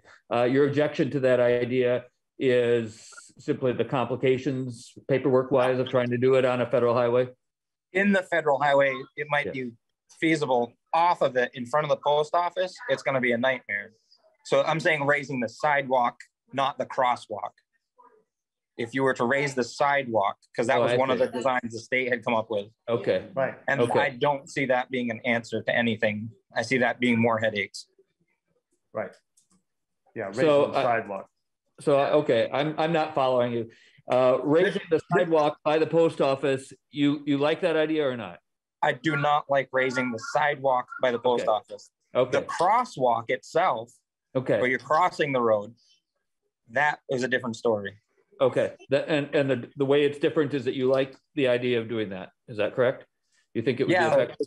Okay, It- in the road, I can see where it would be effective. It doesn't have to be a speed bump, just a raised area. uh-huh. That's what they're talking about. But that, but that does act like a speed bump. That's kind of what, we've had discussion many times about raising uh, an area where people walk across the road in that it does act a bit of a speed bump and it is a deterrent. However, that's never, we've never been able to get that. We've never been able to do it. Mhm. We've never been able to pull the trigger on that. It's up to, Right. it's up to V-Trans that happens here. But, And- that- yeah, and I- but, but you'd have to apply to V-Trans. Yeah. Oh, we got people raising their hands here. We're gonna have to have this discussion real quickly because we're waiting. Yeah, I'll, I'll, I'll finish it. I- I just want to say, when we were designing the sidewalks, we had to, um, we could not put a sidewalk in front of the post office or in front of Dudley's. And that's why the curve is where it is. So there's a whole long transition of discussions on that point of putting any sidewalk in front of the post office or even near it. So we'd have to go back to those discussions. Well, and for the record, that's Kim Watson on the planning commission. Well, one of the, one of the reasons we didn't do the sidewalk in front of Dudley's and the post office is because the person that owned the Dudley's at that point was hard to work with and wouldn't give us the permission to do that. Now there's a different owner, Right. easier to work with. You know, if that was something that would help the traffic there, I think we could work with the present owner of Dudley's. But I'm not sure that's even uh, an option as far as safety goes. That's basically what we're talking about. Yeah, we're talking Yeah. about safety and then it is new ownership. We have one other, uh, Yeah, so President. my name's Michelle McFadden and Jean Visser and I founded the village committee twenty years ago um, to, to work on um, all of these issues in our village. And we would never have dreamed that the issue would be so many pedestrians that um, that we need to enhance the safety even further. We fought tooth and nail to get that crosswalk. It is incredibly difficult to get one across the federal highway. Um, so just a couple, a couple of observations. One is if you drive north on 14, which I realize is a state highway, not a federal highway, all of those very small towns have a lighted sign that tell you how fast you're going. That's not the same thing as but just making people aware of their speed, Mm-hmm. possibly in a safe place where it wouldn't, the pole wouldn't get hit, might be a good first step. Second thing is, as I remember we did have sidewalks designed in front of the post office, um, and the owner I think that, that didn't end up happening, but our solution at the time was to have parking parallel to the front of the post office. So you are not backing out into the road. And, and that would have also um, solved some of this. So you park in and then, and then you're not uh, creating a hazard. So um, I'm, I'm, I'm very glad you're bringing this to everyone's attention. And, and I'm so glad the issue is that so many people are using. I, I have seen, I, I drive through the intersection eight to 10, 10 times a day usually, and I have seen many people use the crosswalk, especially elderly people. I, I think that there was not in their capacity to possibly get in the car to get their mail or to drive to either of the um, of the uh, lights but um, but they they were crossing at the crosswalk. So I'm I'm I, I'm glad we have it, and I hope it can even get better. Okay, so um, I'm gonna have to end the discussion, but I just want to touch on those two ideas. One is the flashing sign, flashing speed sign, I think it's a good idea. You can put that, in- we've talked about that before. The other thing is traffic control around the post office, parking control is something that I think that we could address, and that's always a problem there. In my opinion, people shouldn't park right in front of the post office and back out in traffic. I just think that's a bad But idea. it's, it's mostly the elderly folks that it's their easy access. But you to can, in. but you can go on the side and, and walk up that way, You're go right, around. But hey. But wait a minute, if, if we, we need to talk to the owner of the post office to see if we could do a better job of parking control around that post office. And also so traffic went all in the same direction around the post office. That would make a big difference. I park there every single day and it's like people are all over the place. So that's something we could reach out to the owner of the post office about, is maybe we could help them come up with a plan. Yeah. And the other thing is, I think the sign with the speed, speed limit sign that flashes, I think it's a good idea. I You think that's something we naturally- could you do. Naturally hit the brakes. You do. when you see You're like, oh no, I'm going forty-five. I should be Well, going you twenty-five. Yeah, you Yeah. do. You do. So um, I'm gonna thank you for coming in. We do have to move to our next item and we've got a couple of things that we can work on. All right, thank you guys. So for your thank you. time. So just in terms of being, following up on this, should we say that we'll revisit this question in a month I, I or think so? we have a couple of action items that we could work on. Yep. One is reach out to the owner of the post office and think about a parking plan. Mhm. And the other thing is, what does it cost to put those signs in? Okay, And can we do that with this, uh, permission of the state or the state? Yep. You know, okay, so I and who do think- we want to do those?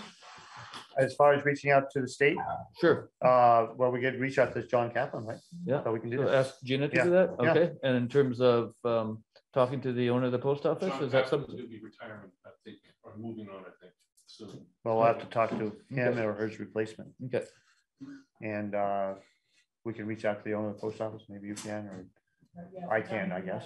What's that? I don't know who that is. I can find that. I can- Okay, I'll look into that. Yeah. Okay, okay, sounds good. very Thank good, you. thank you. Yep. Okay, so the next thing on our agenda item is discuss East Montpelier Elementary School traffic management. So um, is everyone aware of the issue or up, up by Vincent Flats on the parking by the school? The pickup times, et cetera, et cetera? Yeah, I, I would like somebody to walk me through it. I'm a little bit more confused than I was last time, Okay. having read the email correspondence that was Okay. prepared for us, so. Well, let, let me What- just, yeah. there's a quick overlay and then everyone else can jump in on it. Um, At a certain time of day, in the morning, is it in the morning too? It's mostly afternoon. Mostly afternoon, parents pick up their kids at the school, elementary school. They park, if you're going by the school, going north, they park by the school, left-hand side. They're headed this way. Is that correct? They're usually headed south. Mhm. And they're parked on the school side of the road. Mhm. And they usually go from the corner almost to the rec field. one line of cars. Mhm. And um, the issue is that when trucks come through Fairmont Farm or trucks are going to Fairmont Farm, they're usually big trucks, big manure trucks.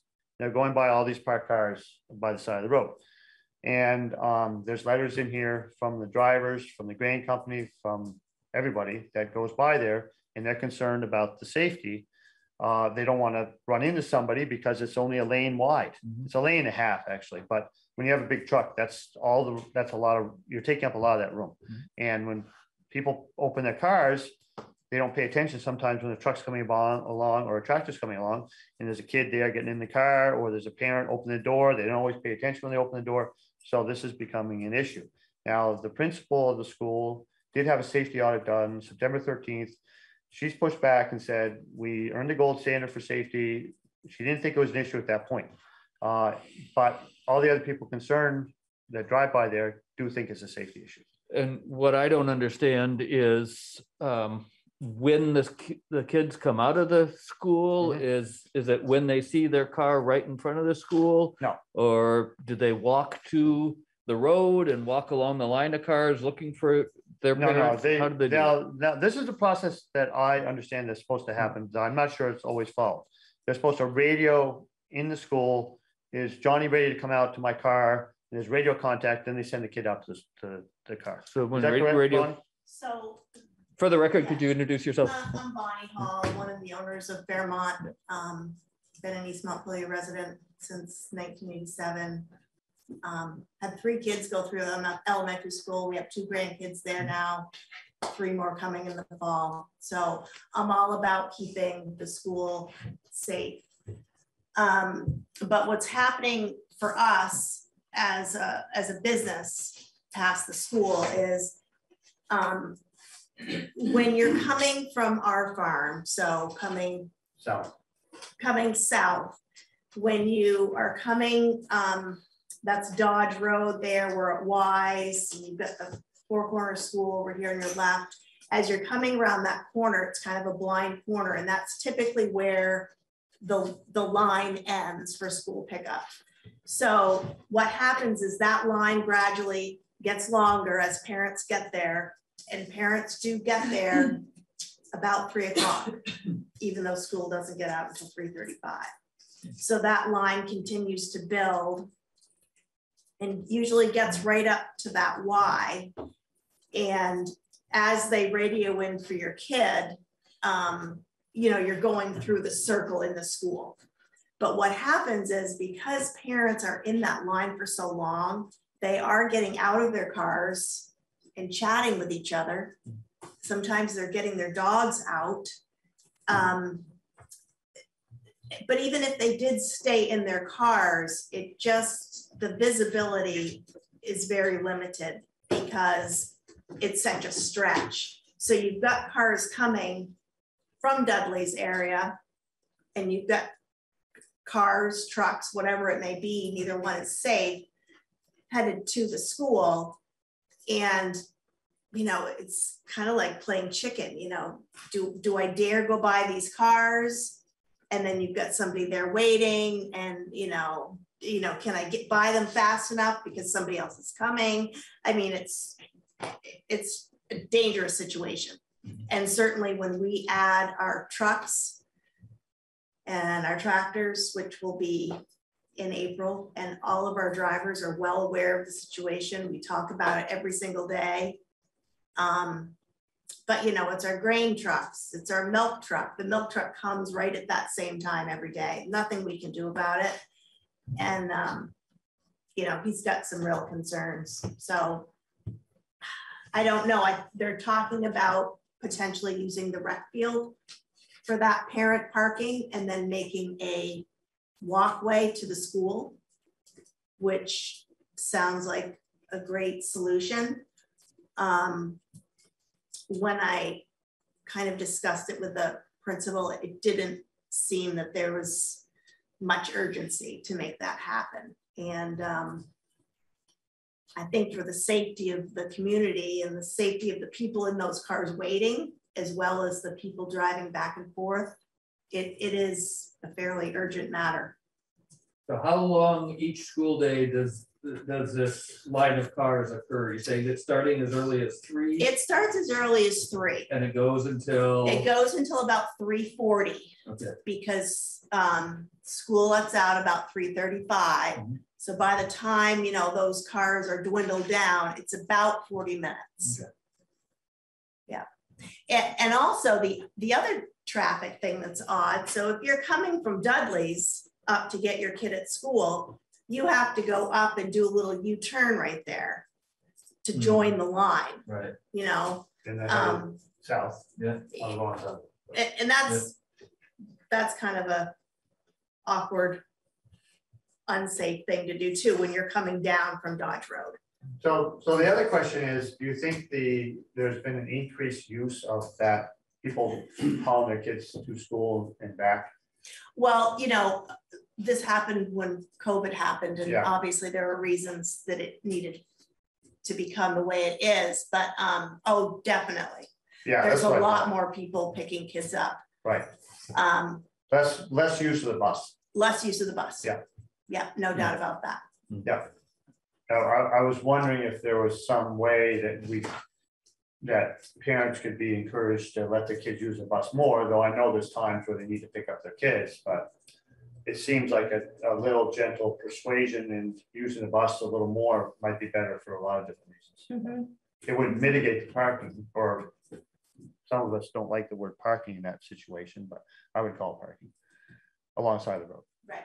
Yeah. Right. So, you know, one of the solutions, I mean, I was hoping the principal would, The prin- the principal's here. oh, She's on Zoom. okay, would attend, because I, I don't know, um, is she buying into the fact that it- it's kind of an issue? Are you buying into that? Where is the principal? Hi, this is Alicia. I'm here. Hi, Alicia. Um, so I know that you did the safety audit in September thirteenth and et cetera, et cetera, but are you thinking that this is an issue that we could work on? I absolutely understand it's a traffic issue for the for the farm and the larger vehicles. When the sheriff's department and um, others came to look at it, they felt and shared, and I think um, they might have even talked with Gina and spent some time at the town office. They shared that they believe this is the safest way to dismiss students at the end of the day.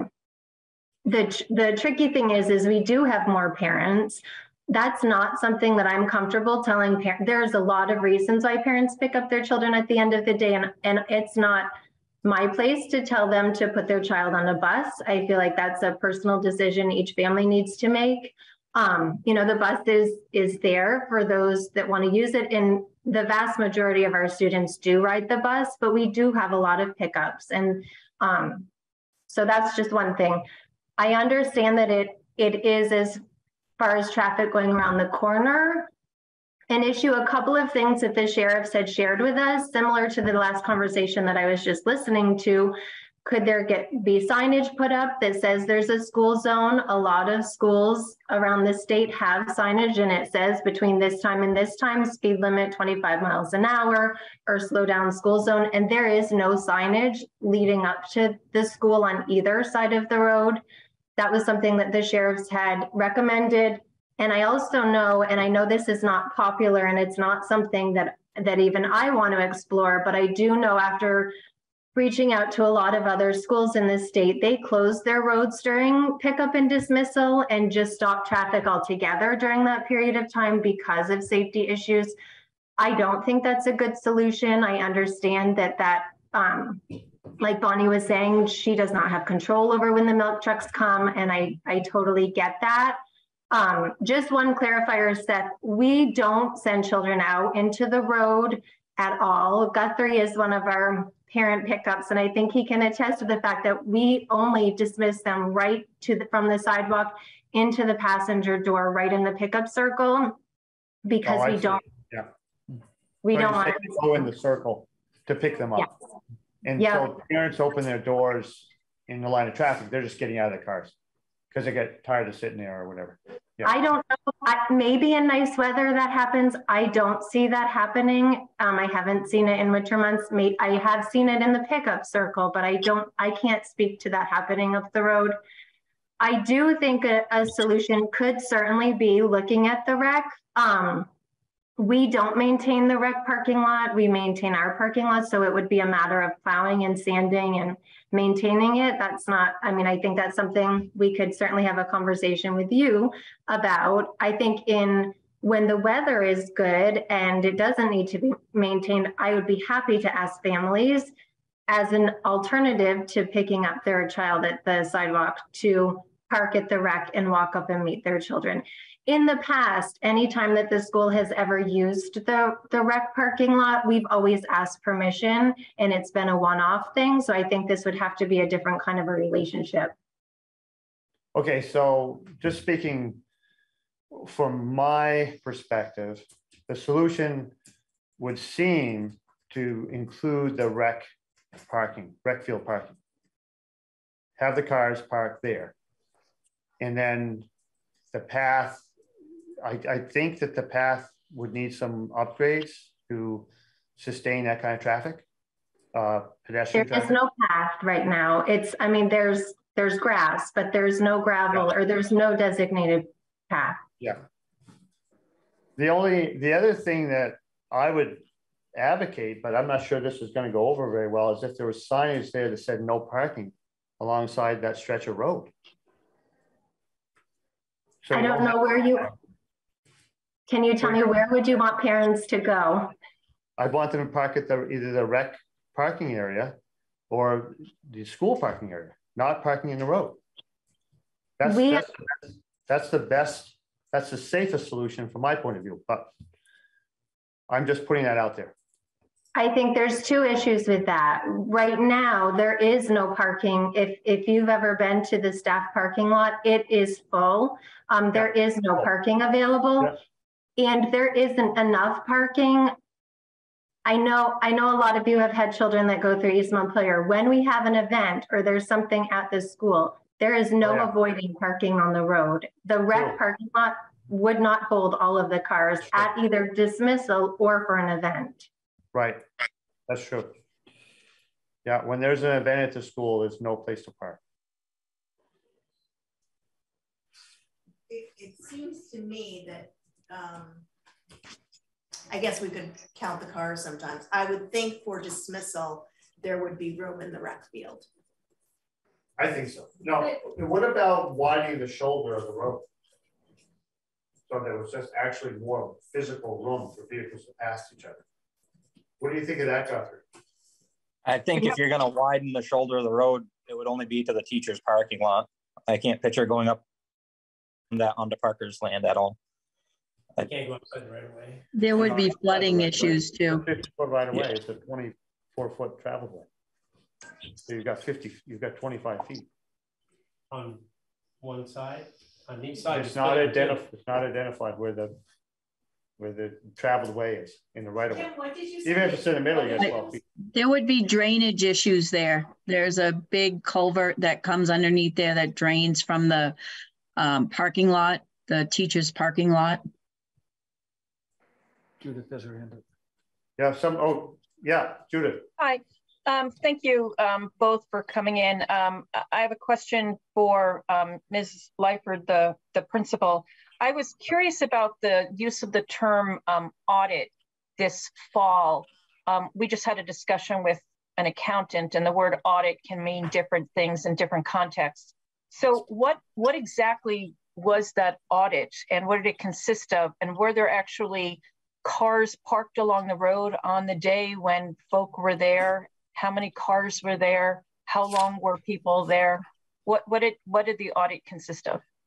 Sure. So I reached out at the beginning of the school year. As Bonnie shared, this is our third school year with this practice. And because I don't want to say COVID is over, but a lot of our procedures changed this school year in regards to COVID. We were trying to figure out do we go back to pre COVID practices for dismissal, which was, as Bonnie shared, parking along the side of the road, getting out of the vehicles, physically walking to the school, and then walking children back out to the road. Um, coming into the school building, or do we stick with the procedures we've had for the last two years? So I reached out to the Vermont State Police. I reached out to the town administrator, I, to Rosie and Gina, and um, reached out to the Washington County Sheriffs. And what what I was told was the best people to come would be the sheriffs because they are the most um, skilled in dealing with traffic issues. And so we had several sheriffs come out over several days. It was over the course of that week of the 13th. They observed from both up the road as well as right from the building. So where Bonnie was describing the why they sat for several days at drop off in the morning and also at dismissal. They watched the exact flow of traffic that you'll see on any given day, um, both morning and afternoon. And then they came and met with us. And I believe they also went and spent time with Gina at the town office, sharing their findings with us. And, and what they concluded was what our practice is, is the safest practice for school dismissal and arrival. So for that reason, we, we kept the, the procedures the same. Um, thank you very much. I appreciate that. Um, approximately how many cars per afternoon are waiting in that queue? I have not counted them, and I think it depends. Um, but I would say I would say somewhere around between 20 and 30 would be my guess. And if in Guthrie shake nodding his head. Yeah. So I'm I'm thinking that's about right. I agree with you. I was going to say 25 would be a fair number, anywhere from 20 to 30. And, and just one last thing, you had talked about not wanting to impose upon parents the requirement to take the bus. There are a number of reasons why parents might want, need to or want to pick up or drive their kids to or from school. But I was wondering if school doesn't let out until around 3:30, if if the school would be receptive to recommending, asking, suggesting, whatever, that parents not join, start a line or don't come to the school before 3:15, 3:20, so that the time during which there is this long line um, is shorter, as opposed to it being, you know, 40 to 45 minutes in the afternoon? I don't know. I we haven't tried that, so I can't say for sure. But I don't know that that would make a difference because 20 to 30 cars, regardless of the the window of time, it does astonish me some days that people have that much time to sit in their car and i'm you know i wish i had that amount of time in the middle of the day. I don't i i haven't asked them why. I don't know why. I haven't asked them to change their practice. I think some just really enjoy getting to the school early. If any of you who have been to the u32 dismissal it looks very much the same um, and it's the same period of time. They just have a larger parking lot and so the cars they're backed up Gallison Hill. It is a, it's a similar practice. Um, I don't know each individual family's reasons for what time they get there. But but they can't pick their child up before dismissal, right? So so dismissal starts at 325. Okay. 325 and by 335 the buses are gone and that's typically when our last cars are coming through. So for us, you know, when Bonnie described it, there are cars that get there as early as three o'clock, again, for lots of personal reasons. Dismissal itself takes about 10 minutes. It starts at 325 on the dot every day. We come on the radio, let the teachers know they can dismiss that the buses have arrived. That's when the radio starts calling. And from 325 to 335 is when it's active dismissal. So there's a there's a couple different things that we could do. One is we could open up the rec uh, area parking to the school. Is that is, are you amenable to that thought? Opening up the rec area parking? Who are you talking to? I was just asking Alicia if that was gonna, oh, what's that? What, I mean, these are parents picking up kids in their cars who uh-huh. drive to the school, right, and pick up their kids. And the staff parking lot's full. So why would help, why would opening up the rec parking lot help? It's Because then they would, then they're not parking the road.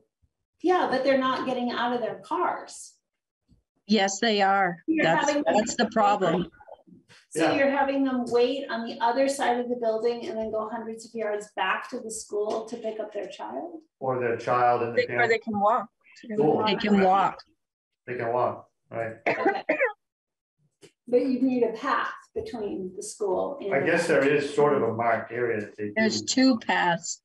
Yeah, there's two paths there, but they, at certain times of year, you would probably want to put some gravel down or something so it was dry. I, I'm just trying to think of how to get the cars out. of the No, road. no, no, I, I just. So that's one, that's one thought. The other thing is that the Kings live across the road. There is an area there that could be used for parking if it was upgraded. Maybe the school could lease that area there and put cars over there for parking. The Kings have the house right across the road. They actually sold it to the halls. Oh, they did sell that house? Oh, okay, so I guess that's not an mm-hmm. option. Yes, I've picked up my kids' uh, children, my grandchildren. Could you introduce yourself, Mary? Uh, Mary Stone. Okay. Um, I'm amazed at how well that system works.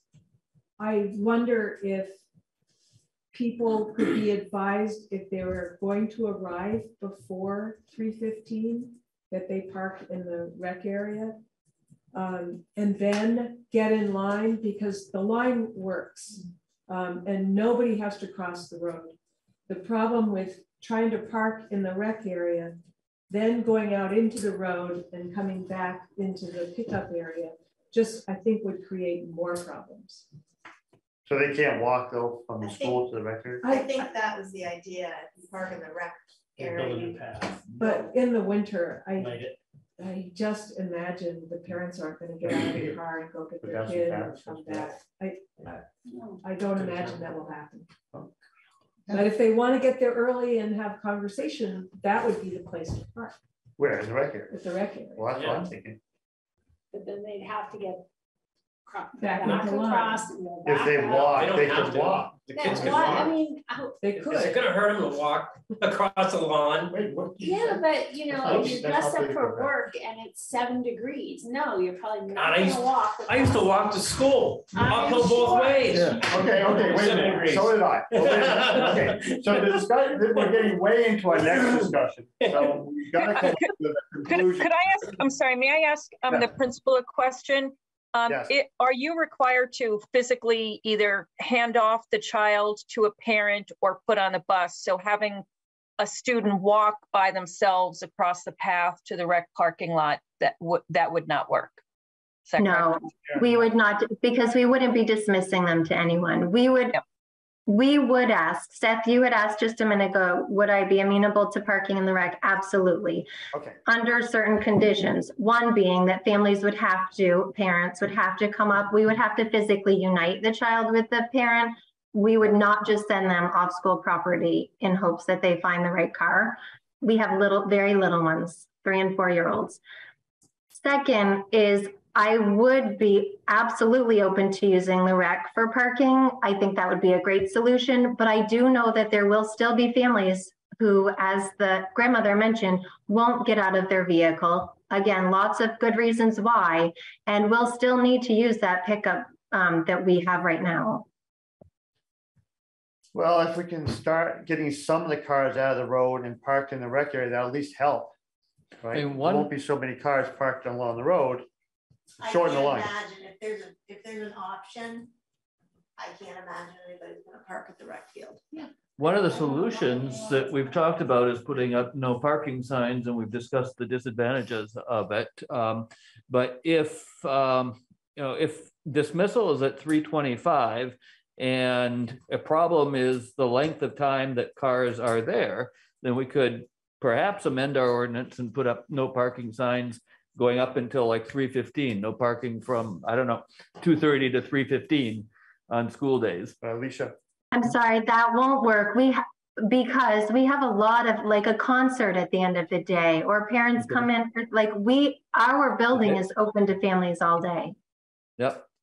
So uh, you, and you have things that have so many cars that people need to park on the road during the day. Okay, so There's that's, actually more cars parked when there's an event than there is for the dismissal. I was thinking of drive after, that way I was thinking of after-school events. I think not- widening yeah, the road is a better idea. Yeah, yeah. Well, I'm, I actually do. that's why I wanted everybody to be here, so we'd get this information. I like widening the road, but I know there's physical, physical limitations to that, but still, you could get, gain a lane. Um, anyway, Judith? I would, I would, I just wanted to voice my support for, you know, pursuing these other options, but I think that we should have a school safety zone. I think that makes, I, I didn't appreciate that there wasn't signage saying school zone, um, you know, certain 25 miles an hour or whatever it is between this time and that time.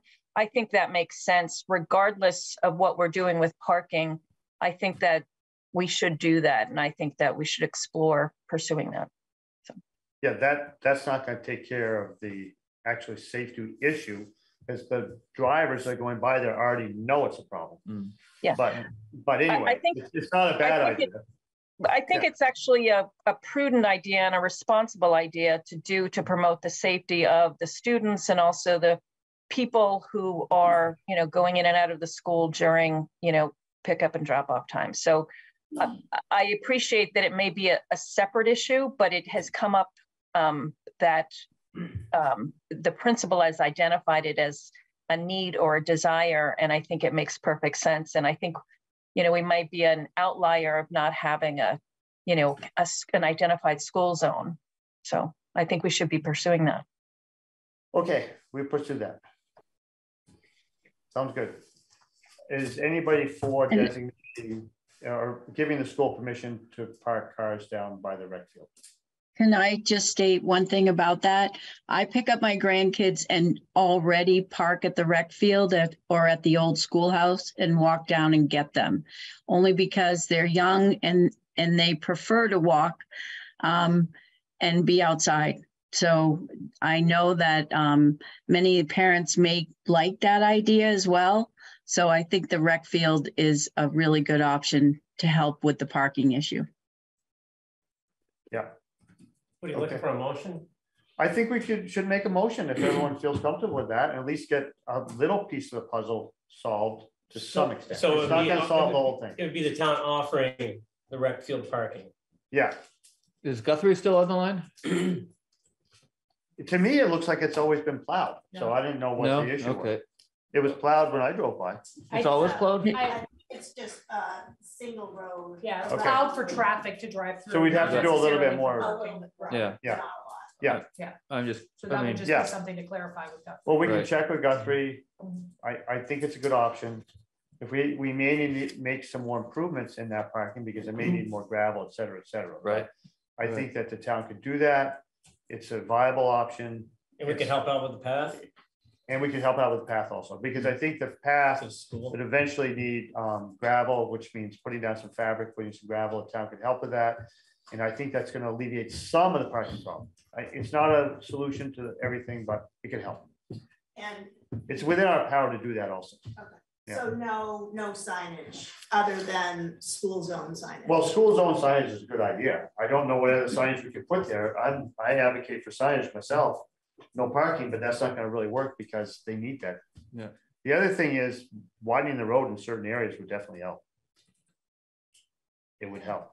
And the town has a fifty foot right of way through there. We're using twenty-four feet of that. So we've got twelve feet either side that we could work with. If it was wider, it would help. so A no U-turn in for sign might help too. What's that? Let's bring Guthrie in for further discussion. Yeah, but I think we've already got, how about, um, let's get a motion to say we could use that parking area by the rec field. I don't want to vote on that without talking to the road foreman. You can make it contingent on talking to them. Uh, let, let's just invite him back for next meeting. No, I'd rather have some action myself, but if no one feels comfortable. I'll, I'll make a move on to the motion next that we, that the town offer up the parking area at the rec field for, at, for after-school parking one. For. No, just say school park. for school parking. Um, and, and also help the school with developing a, a a walkable path up to the school, Improving the path. improving the path, and that we keep it maintained. And we do so, um, we, that Contingent. contingent on, on a positive, um, response from the uh, road foreman. I, I'd want to have an idea how much that's going to cost, how much improvements we're going to need to make in the rec field to have it used every day.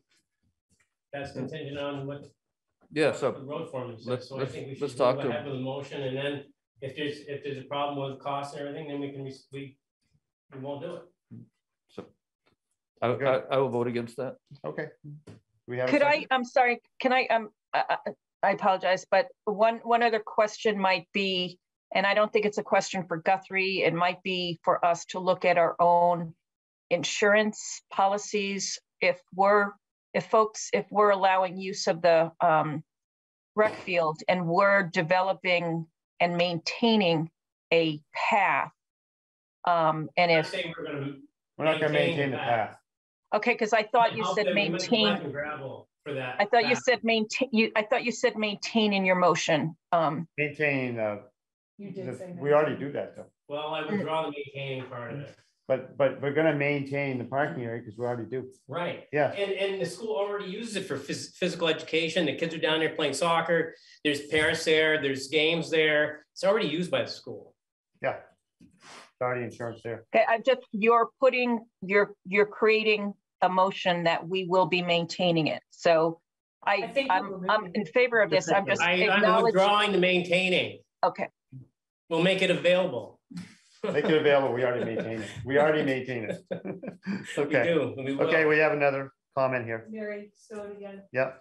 I also want to point out that it's, there's a big distance between the dismissal area and the property line where, so the path would have to go through the snow, through the playing fields where they play soccer and, you know, it's, it's a big area that we're talking about that has to be kept clear of snow in the winter for kids to walk. Well, who clears the road, who clears the parking lots for the school? But it's not, I mean. You have to walk it's across grass. fields. Wait a minute, Kim said something, said. I, I will note that the school already uses that area all the time, so the snow is in consistent use and they're playing out there during the day. Yeah, there's a path already there. Yeah, It's just right. not a gravel path. It could be right along the fence. Right It's along the fence, right? Right. It Yeah. interfere with the fields.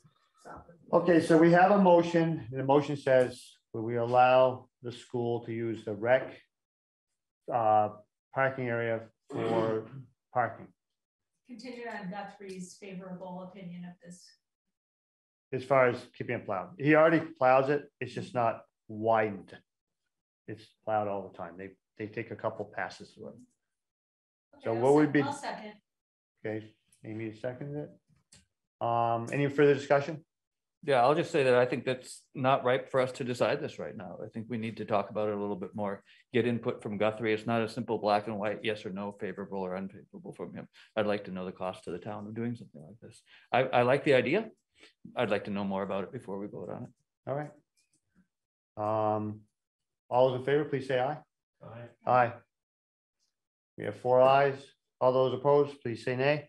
Nay. And we have one nay. Okay. Well, we made a little progress on it. So um, we're gonna have to move to the next item. And we'll work on some more ideas for this issue. I'm glad everyone could attend. And um, we had a lot of feedback. Thanks a lot. Thank you. Thanks for coming in, everyone. Yep. Thank you, Alicia. Appreciate it. Um, okay, so we've done with that. Discuss proposal to close county road for recreation events. We've got a lot of people here. What is, Could, could we, could we get a sense of, could you show the gallery view so we get a sense of who all is on the Zoom call too? Or Oh, I that's thought they were Sean, already yeah. up there. Now, um, we do have a lot of people here, but have they all signed in? Do we have people signed in? There's a- encouraging everyone to sign in as they come in. It's a sign in sheet right there.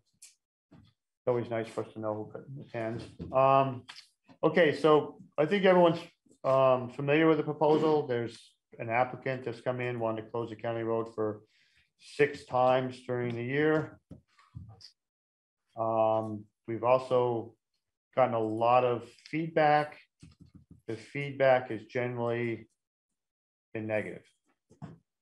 Sixty-nine percent no, twenty-seven percent yes. What's that? Sixty-nine percent no, 27%. Okay, sixty-nine percent no, twenty-seven yes, Four percent, that kind of, undecided. yeah. Okay. I've had some calls, all the calls were negative. Um, So I'm leaning towards I denying. Also have the feedback proposal from myself. VLCT as well. um, Yeah, on what this was and the, that? and liability for the town. Essentially, their recommendation is that if we were to pursue this, Yeah. it needed to be a town managed event. Yeah.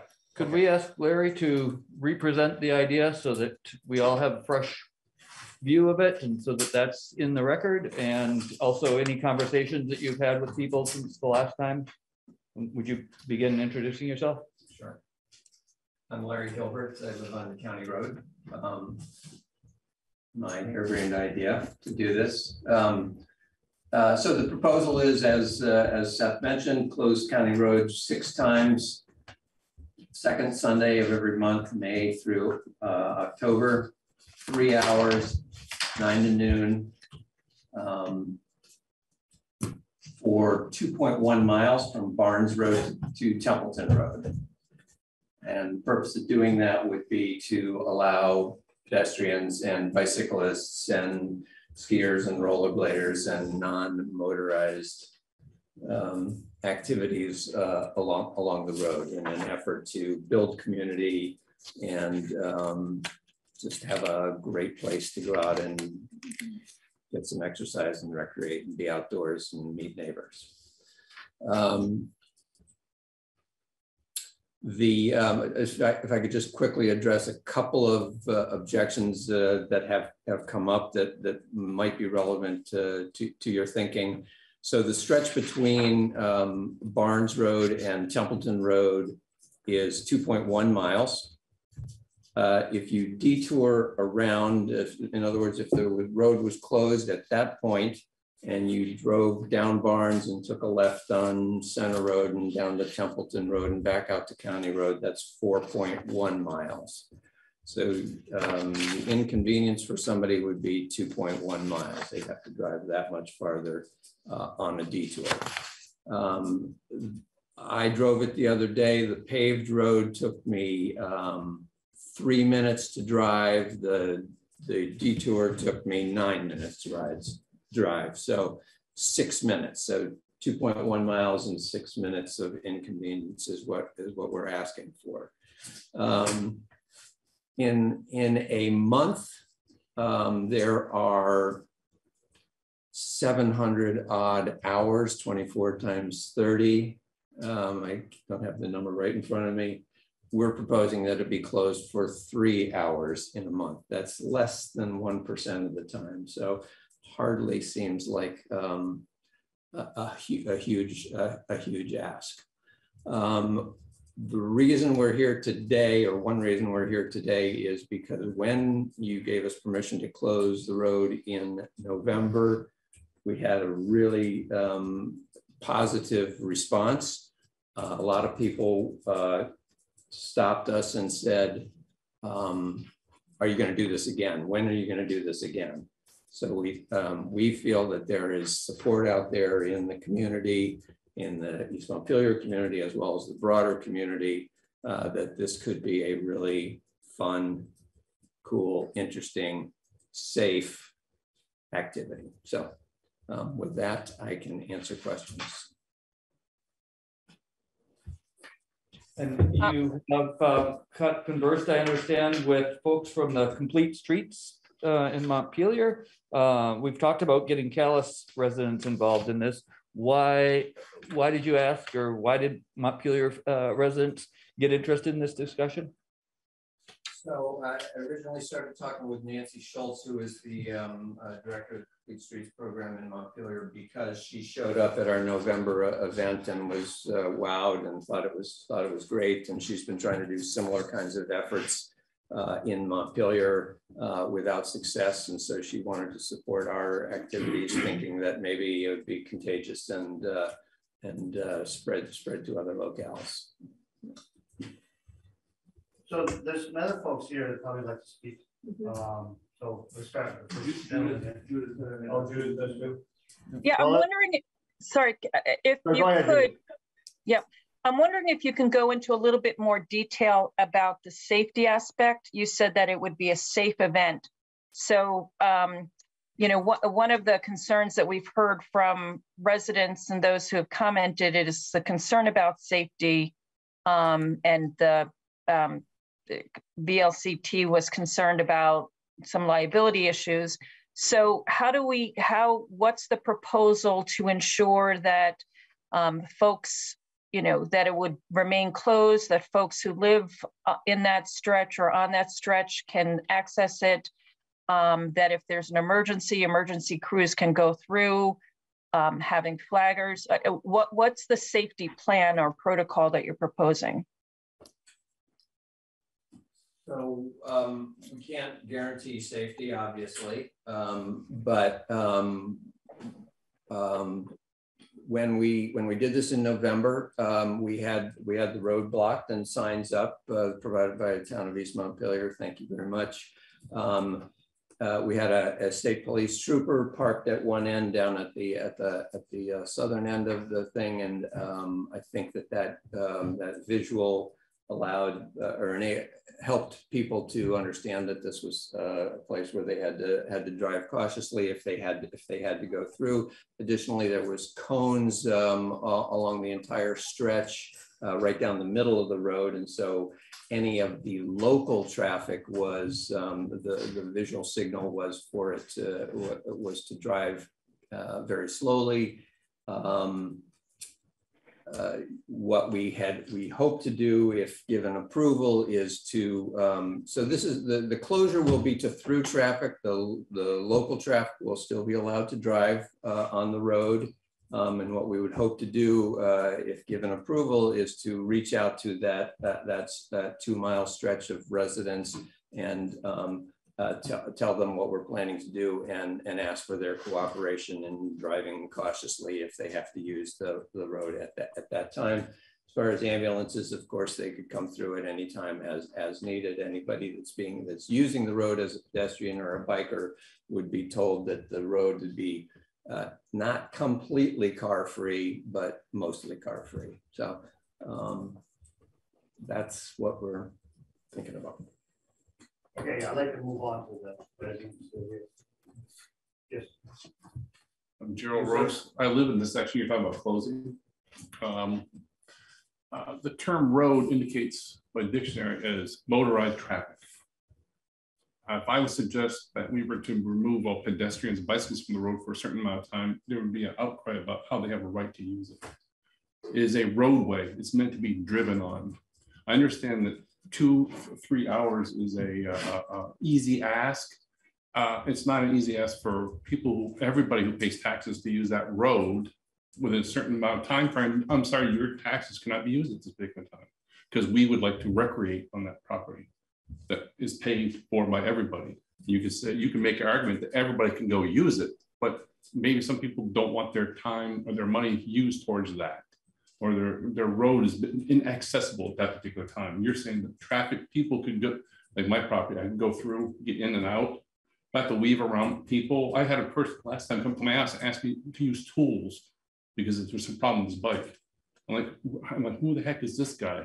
And he just asked me to use stuff on my property now because he felt like, oh, happened. I just need using tools. What's the big deal?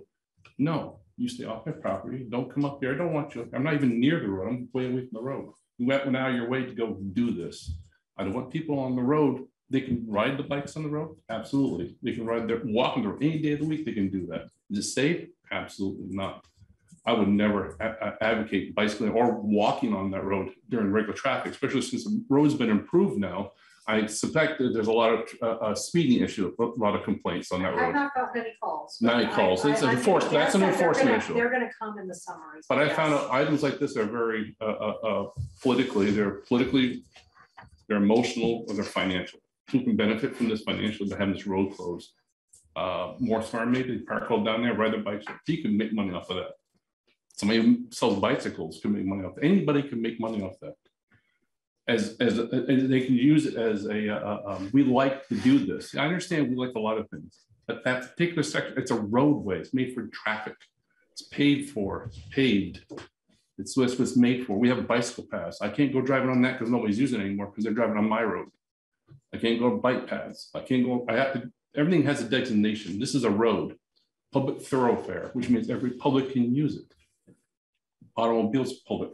And I just think that having our road open or closed, I should say, I thought was really interesting. We're celebrating the opening of the new road by closing it. That doesn't make sense to me. It should be opened so people can drive through, not closed, and people can recreate on it. When I see bicycles at two in the morning or three in the morning or in rainstorms, snowstorms riding on the road, it's regular traffic. Okay, they're traffic, they can use it. But Closing it off, so people can play on the road and skateboard, there's places for that. I can't go drive anywhere as I want, I only have a certain place I can drive on the road. I design roadways, I do roadways, that's what I do for a living. This is not a place to be having any of that. Not for fun, not closing it down. Okay. So the lady next to you? Yes, hi, I'm Patty Giovara. I also live on that section road, Larry. Um, and I love getting outside and biking and doing all kinds of things, but I don't think that the road is a recreation path and I don't think it should be closed uh, for the purpose of recreation. And, you know, County Road is, you know, kind of the one way to get out to the ponds and everything else that's happening out in Calais and Sunday morning would be kind of prime time. So anyway, I'll be brief. I just, I just don't think it's a, a recreation path. Thank you. Mary Stone. Mary Stone. I live on Cummings Road, actually more or less on County Road. And I was within that closed area in November. And my initial thought was, that's really dangerous. I'm not gonna let my kids go out there, my grandchildren go out there. Well, when it actually happened, I went down to the mailbox and I looked to the right and I looked to the left and I went, this is amazing. I've got to get on this road. I got my bicycle out of storage and got on the road and rode down. And it was fabulous. There were people out walking, there were people out communicating, people who hadn't, who didn't know each other were walking together, um, smiling. This was everybody who lived and needed to go to Calais or anywhere on County Road all summer had to go around through the beautiful back roads. and we were finally given the freedom to, to be on that road. It was, it was so wonderful. I went back to the house and, you know, it was a cold day and it was kind of drizzling. Got the grandchildren out there and said, you've got to experience this. This is, this is an exceptional thing that this town has done. And the organizers uh, in, in making it happen, but the select board in allowing it to happen. Uh, it was, um, I, all I can say is if you didn't get out and walk on the road, you know, if you had, maybe you'd feel different. It, it really was was raised a not play in the middle of the feeling of community that I had not experienced on where I live in East Montpelier. There is no town center, there's no green, there's no gathering place. There's County Road. And it, I, I, I would love to see it happen again. Okay. Um, Michelle, what did did you want to say? I know, just, I think it's a fantastic idea. We've missed the opportunity when we're widening roads. Um, they're not getting paved for pedestrian or bike travel. Um, that, that, that, that's sort of a missed opportunity. We don't have bike paths, uh, at least not that I know of in our town. Um, they're just, they're, they're, it's an extraordinary opportunity to create community and get people outside. It's two or three hours once a month. I mean, I, I just, I, I, I, I think it's a fantastic idea. So, um, do we have some people that are zooming in that would like to say something about this? Kate Phillips. Oh, yeah. Kate Phillips. yeah.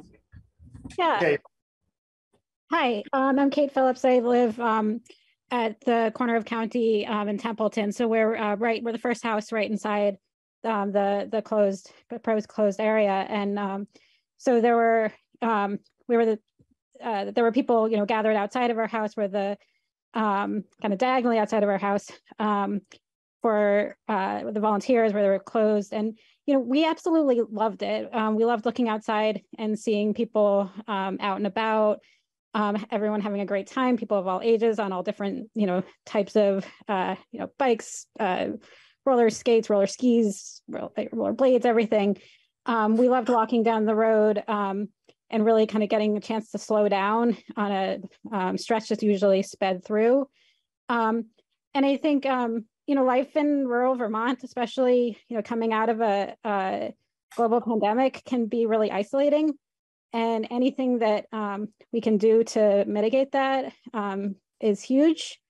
And I think also um, anything that we can do to um, discourage uh, you know, the total reliance on cars um, and car culture is is a positive thing in my book. Um, you know, this is a very car dependent place and it hasn't always been. We used to have a railroad um, stop in East Montpelier. Um, you know, there's no reason to totally embrace all things cars. And um, I, I just uh, don't think that three hours um, a month is too much to ask. Um, and uh, I think it was a, a really fantastic community building um, moment, and I really want to encourage that. Thank you. Somebody else would like to speak the zooming? Yep. Hi, my name's Ann Gilbert and I live on County Road. And I'm also part of the work group that really, um, I participated in the pilot project last November. And I met Kate, I met, I met other neighbors on the road that I never would have seen. And like Mary Stone said, so many people were out there having a really good time. Part of our work group was to really look at, um, you know, uh, what what what worked and what didn't work in November. And so some of the things that we came up with that, you know, is in the proposal now is really shortening the distance um, to, you know, um, to have it just be Barnes to Templeton um, and not all the way down blocking Morse Farm or, uh, you know, all the way down to Cummings. Um, also thinking about keeping it on a Sunday morning, but keeping a lot of the things that um, helped make it positive last time, which was support with signage. Um, there were signs up ahead of time and uh, we put information out on Front Porch Forum. Um, it did come up quickly, but um, I was at one of the roadblocks at County and Templeton. And certainly if people came through and said, I need to be able to get in my driveway, I need to get to my house, I said, okay, just put your flashes flashers on and drive slowly. And so one of the things our work group decided was we are increase, increasing the number of people who would be volunteers to take shifts to work on this so that there are people all along the way um, in a bright vest who would be able to, um, you know, just help cars if they had to um, get through, uh, navigate that. So it's not closed county road, it's really closed to through traffic and I work in public health. And part of what's really important right now, especially like Kate said, coming out of a pandemic, is you know community involvement, and um, especially for families and youth, and to see so many kids that were out there with their families or with their friends or with their coaches. It was really an opportunity to um, get outside and have physical activity, um, feel like you were part of something. You know, we don't have rally day anymore. And um, this was really uh, important. And I, you know, I, I would hope that we could work with the town on reaching some kind of compromise of instead of maybe a yes or a no, but like, you know, like how, how could how could this work? How could it be a positive experience? And I'd like to have Nancy Schultz say um, something. She's part of our work group as well. Thank Well, you. thank you. Thank you. Um, does anybody else? that is zooming in, want to say something on this issue? Can I add? Oh, this lady down here, yeah, Um, I don't know, are you guys directing, indicating? yeah, I'm just looking for comments by, by the public and. Yeah, okay. Well, as, as Larry and Ann mentioned, um, I'm Nancy Scholes and I'm actually, I don't direct the Complete Streets program in Montpelier. It's a committee that I'm a- a member of.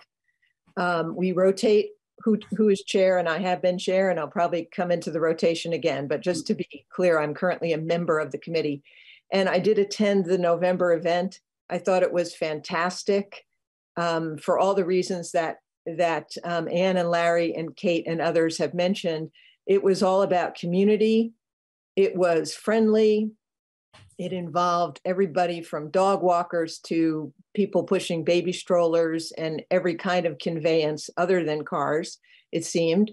Um, and it's such a rare opportunity to be on be in a place like that. I, I ride my bicycle on County Road um, regularly, and I found myself that day finding that oh my goodness, I don't have to keep looking in my rearview mirror every half second to see if a car is going to sideswipe me or push me further onto the shoulder. I mean, I, ride very conservatively, but people do drive quickly there, fast, and sometimes too fast. And it was just, it was just really wonderful to enjoy that road um, with all the other people on bikes and on their on on their feet um, without having that anxiety that you have when you are in a place with lots of cars. I mean, as Kate mentioned, we're in a car-centric society. So to to get a break every so often and get that pure joy of not having to be fearful is a wonderful thing. Thank you. I think everyone's had a chance to comment on this issue. Turn it over to the select board. So I think uh, Judith, you're concerned about the safety issues and insurance, et cetera. Uh, Yeah, uh, just a couple of things. I do, I do appreciate all of the comments and I unfortunately wasn't able to participate. Um, but I was struck by um, some of the language used to describe the event. Um, that it was exceptional, it's rare. Um, and I'm wondering, uh, uh, there's a proposal that it be, I don't know, five or six um, Sundays in the summer. But, you know, I I do appreciate, and that number to me seems like a lot because of, you know, for some of the reasons that um, the gentleman who lives on County Road had identified. And, and, and the others are that, you know, primarily for me, kind of the safety reasons. And I wasn't aware that um, a state trooper had parked um, at one end of the route. And we have very limited state um, police coverage. And I think, you know, if we have to pay or take take away our time dedicated to the town for um, state police coverage to dedicate to this event, I'm not sure if that's a, a prudent and equitable use of our resource considering or our use of state police funds or time considering all of the people in our town.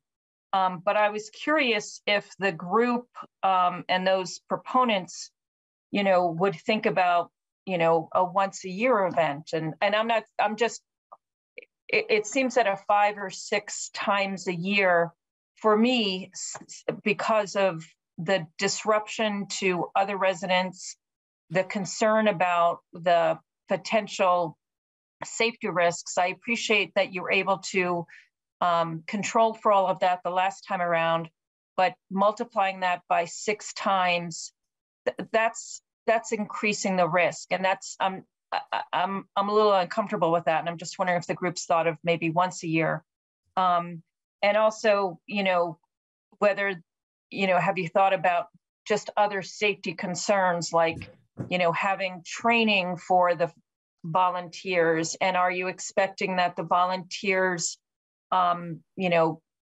have, you know, if they're injured somehow, that the town compensates them for their injury. You know, I'm just wondering if those types of things have been thought about. But those are just things that I've been thinking about based upon what you've all been saying.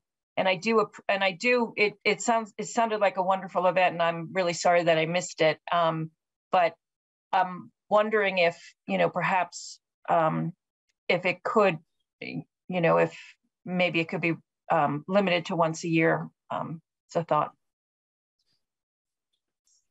That's a good compromise thought. Um, Carl? Sure, thank you. So I, I appreciate all the interest that, uh, that this proposal has um, has sparked and to appreciate everybody coming here and coming on to the Zoom meeting. Uh, my interest in something like this was first sparked around 1980, whenever it was that the Pope came to Boston. And for security reasons, the highways coming into Boston were all closed down.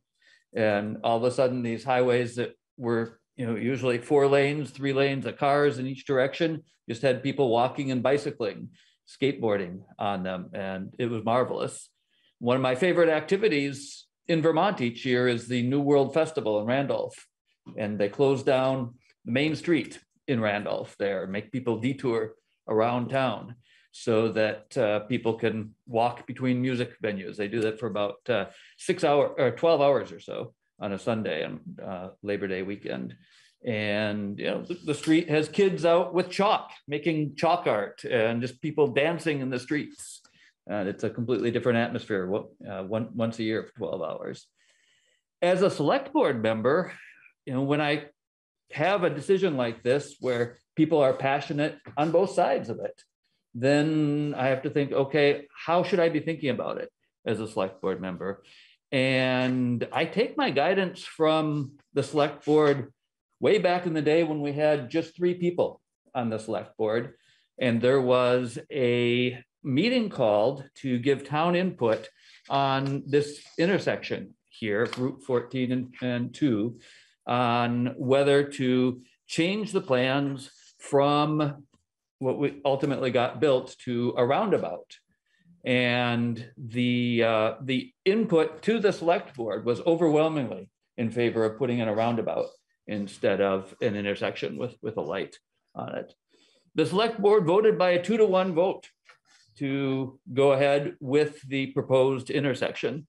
And that was something that was in the agency's plans. It was quite well developed. The agency told the town we needed, uh, we would go to the back of the queue to get everything re-engineered to get the roundabout. I was disappointed that the select board did not listen to the roundabout people since it was so overwhelmingly in favor of the roundabout. Uh, years later, I was thankful for that because we got this built and maybe it doesn't function quite as well as a roundabout, but I'm very impressed with the way that it functions. And I was told years later that uh, Jean Vissering, one of the people who looked at it uh, and, and uh, proposed and was a proponent of the roundabout, said, you know, actually, I'm not sure we have the room for that. But we got something built. And um, rather than going back to the end, end of the queue. And that along with the, the bridge over Route 2 was something that was just, had been on the town list of things to do forever. Because the select board decided by a two to one vote to go ahead and do something that people in town told them not to do, then we got that. And I, I told Martha Holden, who was uh, the deciding vote on that years later, that I was really, um, really pleased that, that they voted that way. And so that's what I think. I think we need to be visionary and uh, you know have the guts to do what's right for the town. Um, also, I in in looking at the responses that we're getting, uh, some people are responding to a proposal that that is different from what was actually made. Uh, some people are responding to a proposal to allow no traffic at all on County Road during these three hours each month. And I could understand why, why they would be upset by it. But as we've heard repeatedly, this is a proposal to close it down to anything but local traffic so that the residents on this stretch would have the possibility of coming and, and going as they see fit, or that their visitors would be able to come and go as they see fit. Also, I'm told that it's true in other places that have done things like this, that there's a lot of resistance, like we heard from Mary Stone. People who are, are worried about this. And then once they experience it, uh, then the uh, there's a groundswell of support for it. So uh, a common planning phrase I'm told when it comes to shutting down, this is, a, this is different, but analogous, shutting down a street uh, in a business district to car traffic is that people scream twice. Once uh, the business owners scream twice, once when it's proposed, and then once when someone proposes to open it up to motor vehicles again. Uh, I, I think that if we do this, that and more people in town have a chance to experience it, and whether that's better than a, a November gray, very gray, drizzly November day, that uh, we'd also see more support for it. You're done? I am. Okay. John? Well, as a person who's been in, in state and town government for 40 years, I know I look too young for that, but um, I uh, I have concerns about. I mean, I grew up in Vermont. I rode my bike everywhere because you could back then. Um, there weren't any trails or anything; they were just back roads. Um, and we, we ride our bikes now on the rail trails and we really like doing that. We enjoy that.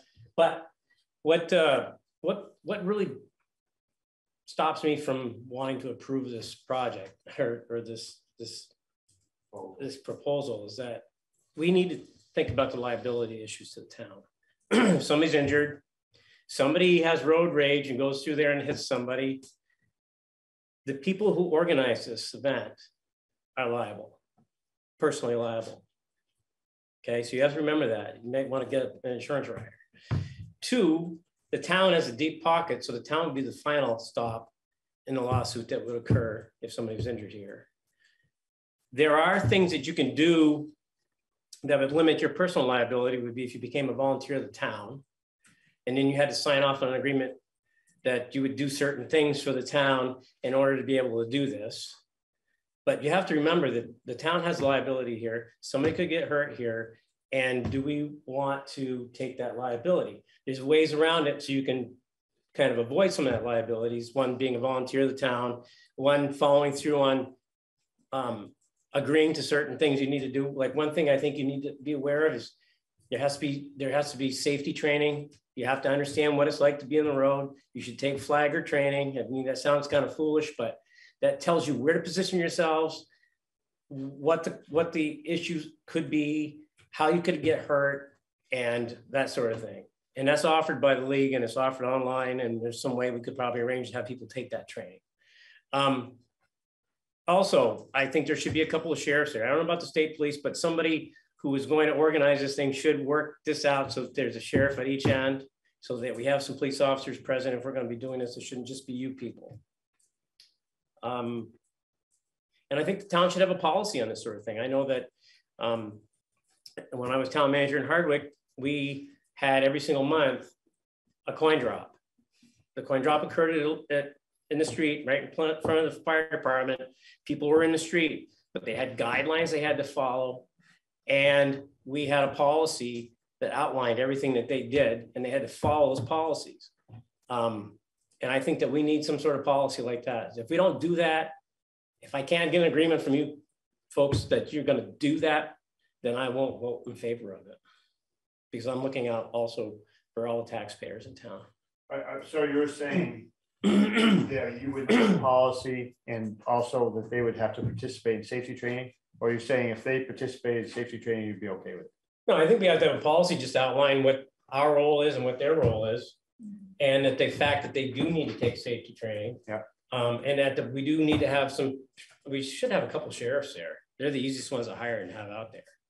But that's I, I believe that's the biggest impact for me. And and I read a lot of I read those the emails. There's a bunch of emails out there, and I do know there's a lot of people are very concerned about the fact that that the road will be closed and there might be some issues surrounding that, and they just don't like it. So, yeah. But the point is, from my point of view, it's exactly what you just said. It's it's safety awareness training, it's liability issues, and it's having some sort of guidance from the town on how this would happen and who's responsible. And you need to look out for yourselves too, liability wise. So Amy, thank you, John. Amy? My thinking is very much along the lines of John's. What about the kind of compromise that Judith was talking about once? Actually, that's an interesting compromise. It wouldn't have to be once a year. I did think that five or six times a year you know, whatever, not everybody's in favor, but I guess in my thinking was, yeah. is that even going to be really popular or really special if it's just kind of a given at that point? Right. You kind of want to make it rare and unique, I think. Yeah. Um, so it's a, it's a tough issue. First mm. of all, we look at the mm. kind of the survey that was done, just going by the figures, people have called in, 69% of the people are against it, 27 for it. And, you know, the way I like to think of things in the town is we try to do things that benefit the most amount of people. If 69% of the people that called in are against it, that's a red flag to me that there's a lot of people against this. But, you know, I hear a lot of positive uh, feedback from the people that are here tonight. Um, I guess I would lean, if I was going to put my two cents into this. I agree with what John is thinking about the safety issues and also uh, Judith has raised the same. Um, you know, I, I would be in favor of the once a year compromise with safety training as mandatory. And with the safety of police there on either end of the blockade. So you could have the state police or you could have the sheriffs. So the only way I would be in favor of it, it'd be a once a year event. I guess that's what I, my compromise on that. And I don't know uh, what everyone else thinks of that. Would we also consider possibly establishing a committee to manage this? Because one of the VLCT's comments was that the town manage this. I would really prefer not to do that and put that on my plate. This has already taken an incredible amount of time just to get to this point. So I'd kind of like to be out of County Road for at least, I don't know, two months of my career here. It'd be great. So Yeah. I'd like to have someone else field all of that. Um, Yeah. because I just don't really frankly have the time Yeah. to plan an event. John articulated very well, and, and you have as well, that um, the concerns that VLCT uh, put out, and uh, for those who haven't seen them, they're available on the, the town website in connection with this, this meeting. And uh, yeah, it, it sounds like to be properly covered, we need to uh, either take it within an existing town committee, I don't know if the, the rec committee is at all interested in this, or we need to create a new committee uh, that, that will handle it. But we sound, it sounds like we have a working group working on it already. Uh, Larry, do you think the members of the working group would be amenable to being appointed as town committee members? So um, I can't speak for the group. Sure. Just, just one. Sure. Um, um, I guess, I guess I would um, ask you to vote on the proposal in front of you, yes or no. And then if there's uh, a desire on your part to say, if you vote no on this, um, but go ahead and do it one time. If that's something that you're proposing, then we'd have to go back and say, well, do we want to, want to put in the effort to make this happen one time or, um, or not? And Right.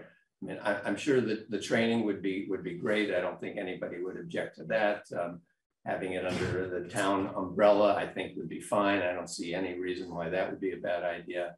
Um, but, um, we came to you with a specific proposal and we'd like you to vote on that.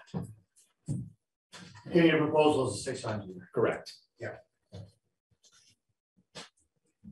I think you need somebody to make that motion. And that would be the first step in voting on. it. So I'm not in a position to make a, uh, make a motion as the chairman.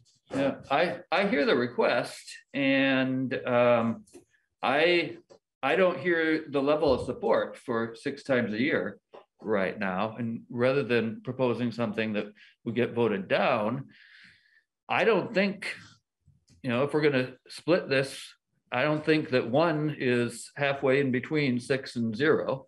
Um, I, I would propose that we try it for this coming year. It'd be a one-time thing. And we make it contingent on the committee and uh, working with the, the town to satisfy our insurers' concerns about this. So it would be contingent on committee coming back at a future date saying, okay, here, here are how the concerns uh, that have been laid out and here's how we are satisfying them. And maybe it means we make some appointments at that time. Maybe it means something else. I, I think we need to figure that out. But um, I'd be willing to make a motion to um, ex, to um, accept the proposal to close down County Road three times a year, recognizing that that's not exactly the proposal coming from the committee on, on a Sunday for three hours uh, between nine and twelve AM. If, if that's something that I could get a second from, and again, contingent on us working out the details of the, um, of the coverage. Well, that's changing their proposal to three. That's correct. Right. And it's also changing it by saying it's contingent on us working out the details of the coverage. They, they asked for a blank check to do that, and I don't think under any circumstances we should give that because we have good concerns about. Right, I think you also have to designate somebody that's gonna be a point person besides our town administrator on this issue. Sure. Because she's like swamped with it and doesn't want to be swamped with it. Sure. so. Sure. Uh, I'd but Yeah, I'd be willing to take that you- on. I mean, you're gonna have to ask this gentleman here whether he's happy with the three times, and I don't think you've got the support from the select board to vote on that uh, Mm-hmm. affirmatively, so. What do you think? Mr. Gilbert? Um, Okay, we'll take three. If you want to vote, if you want to vote yes for three, I will, we'll, we'll take it as a Well, start. I'm not saying I'm voting yes. That's I, just- I understand yeah. that, but if, if, if you want to amend it to three and see if it passes, then I guess that's, uh, Okay. we- I'd be curious to see how, how that goes. It does appear that six is not But going. he, he's made, he's gonna make a motion, Carl. Mhm.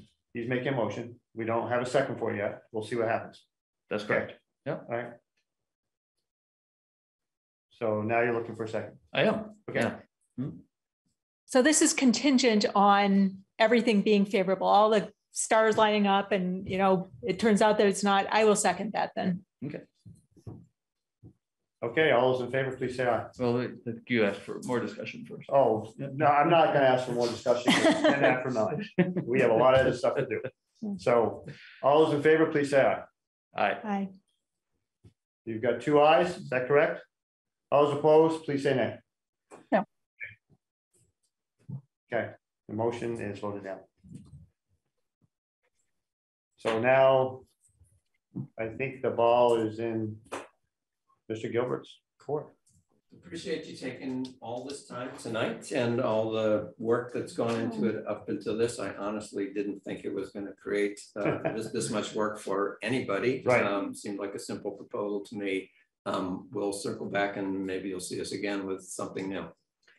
Yeah, the thing about um you coming back in contact, it'd be nice if we didn't overwhelm our town administrator with this task, so.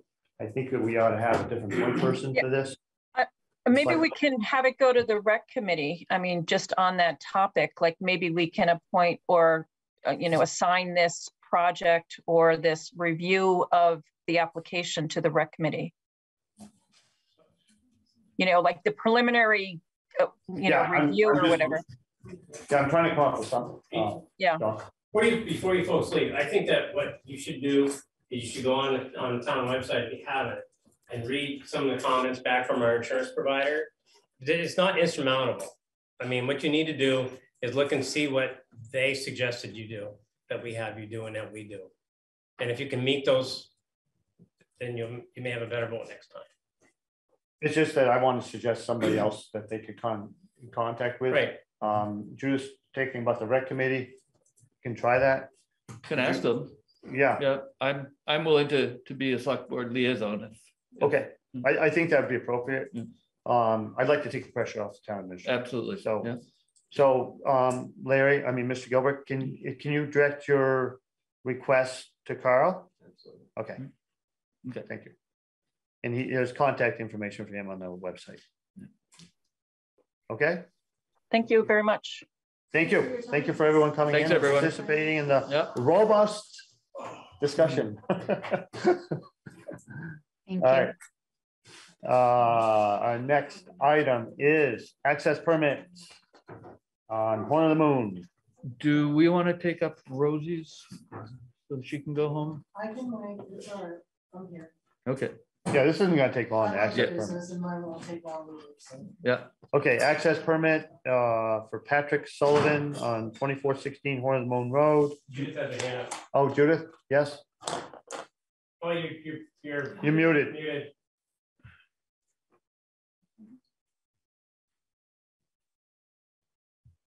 Sorry, um, I just had a question. Um, the way that the property is described, it's in a residential area, yet the need for the access permit um, or the additional cut was to, you know, assist in the farm operation.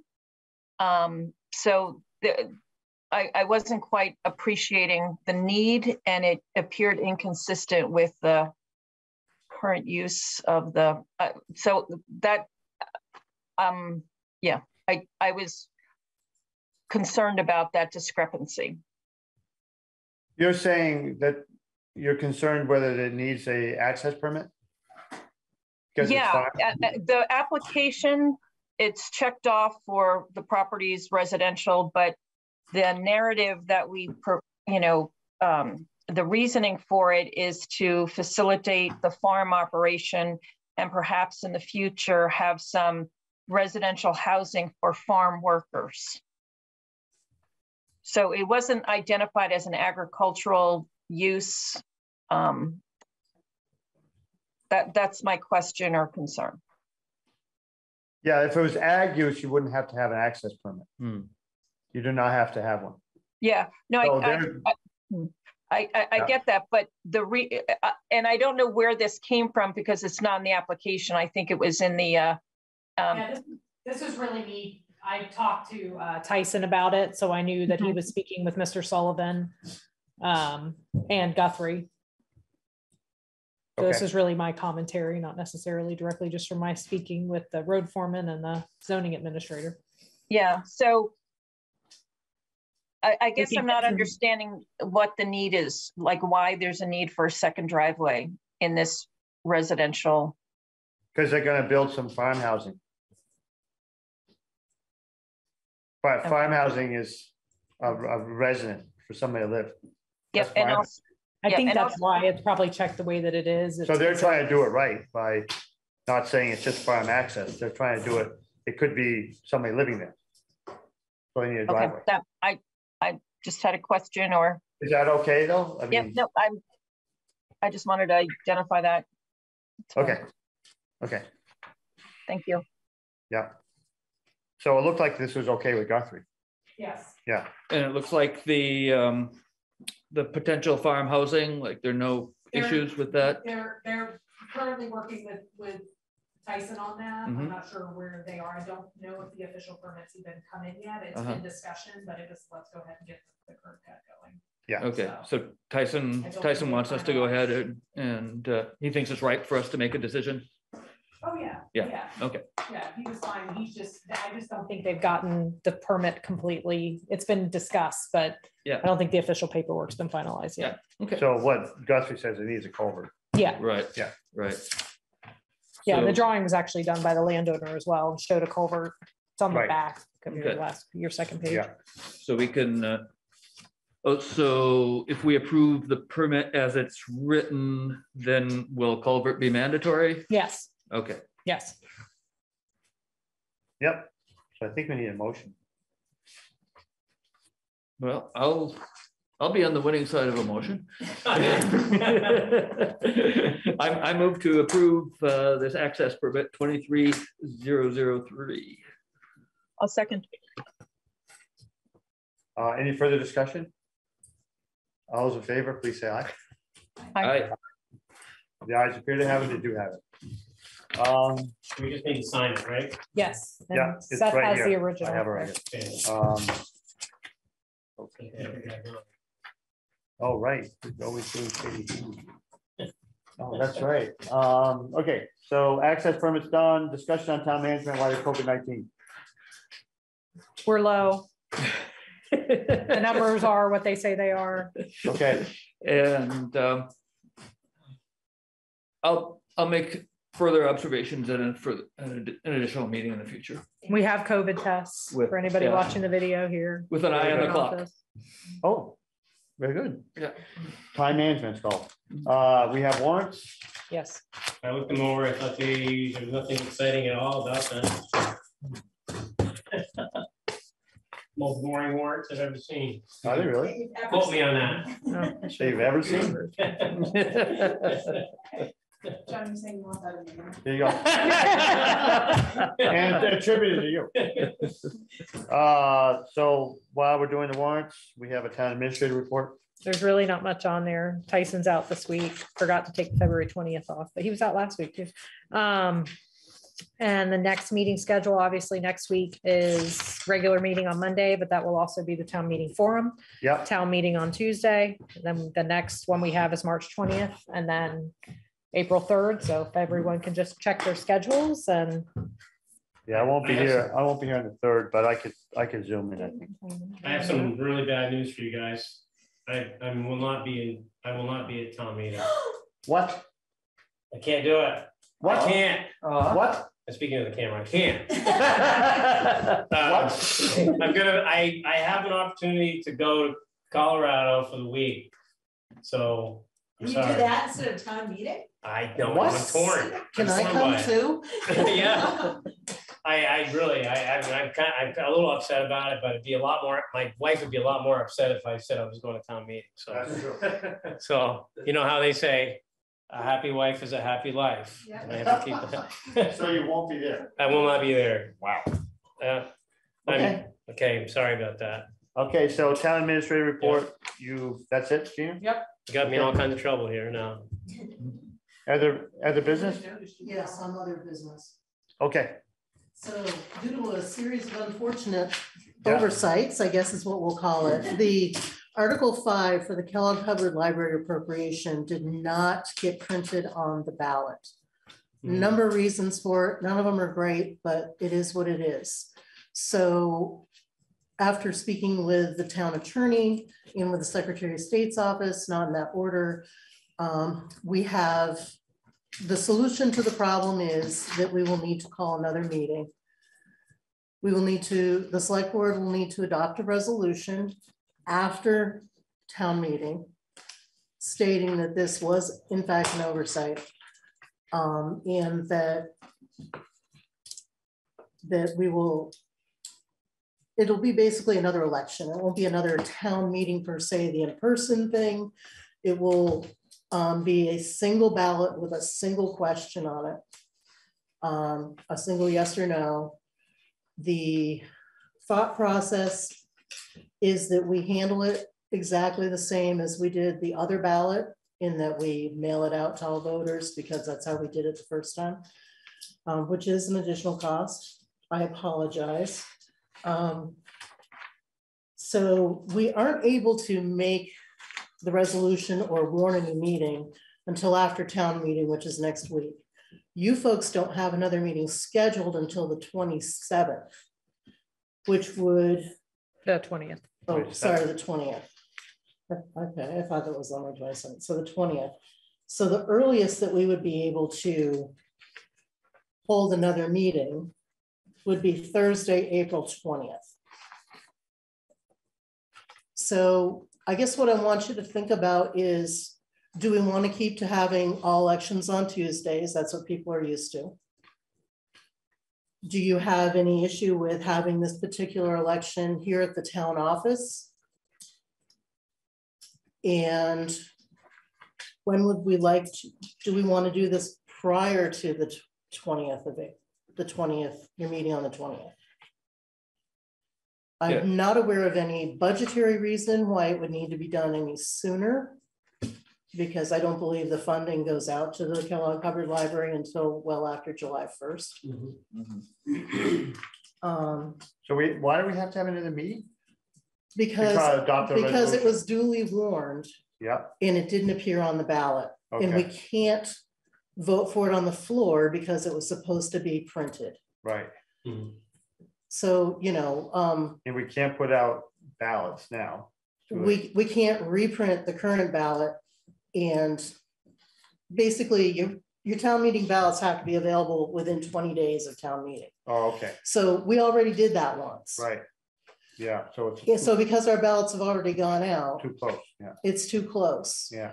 And if we were to try to say, have that happen tomorrow, um, anyone could actually dispute the result of the, that, that, that article as well as the result of the other, other articles on the ballot.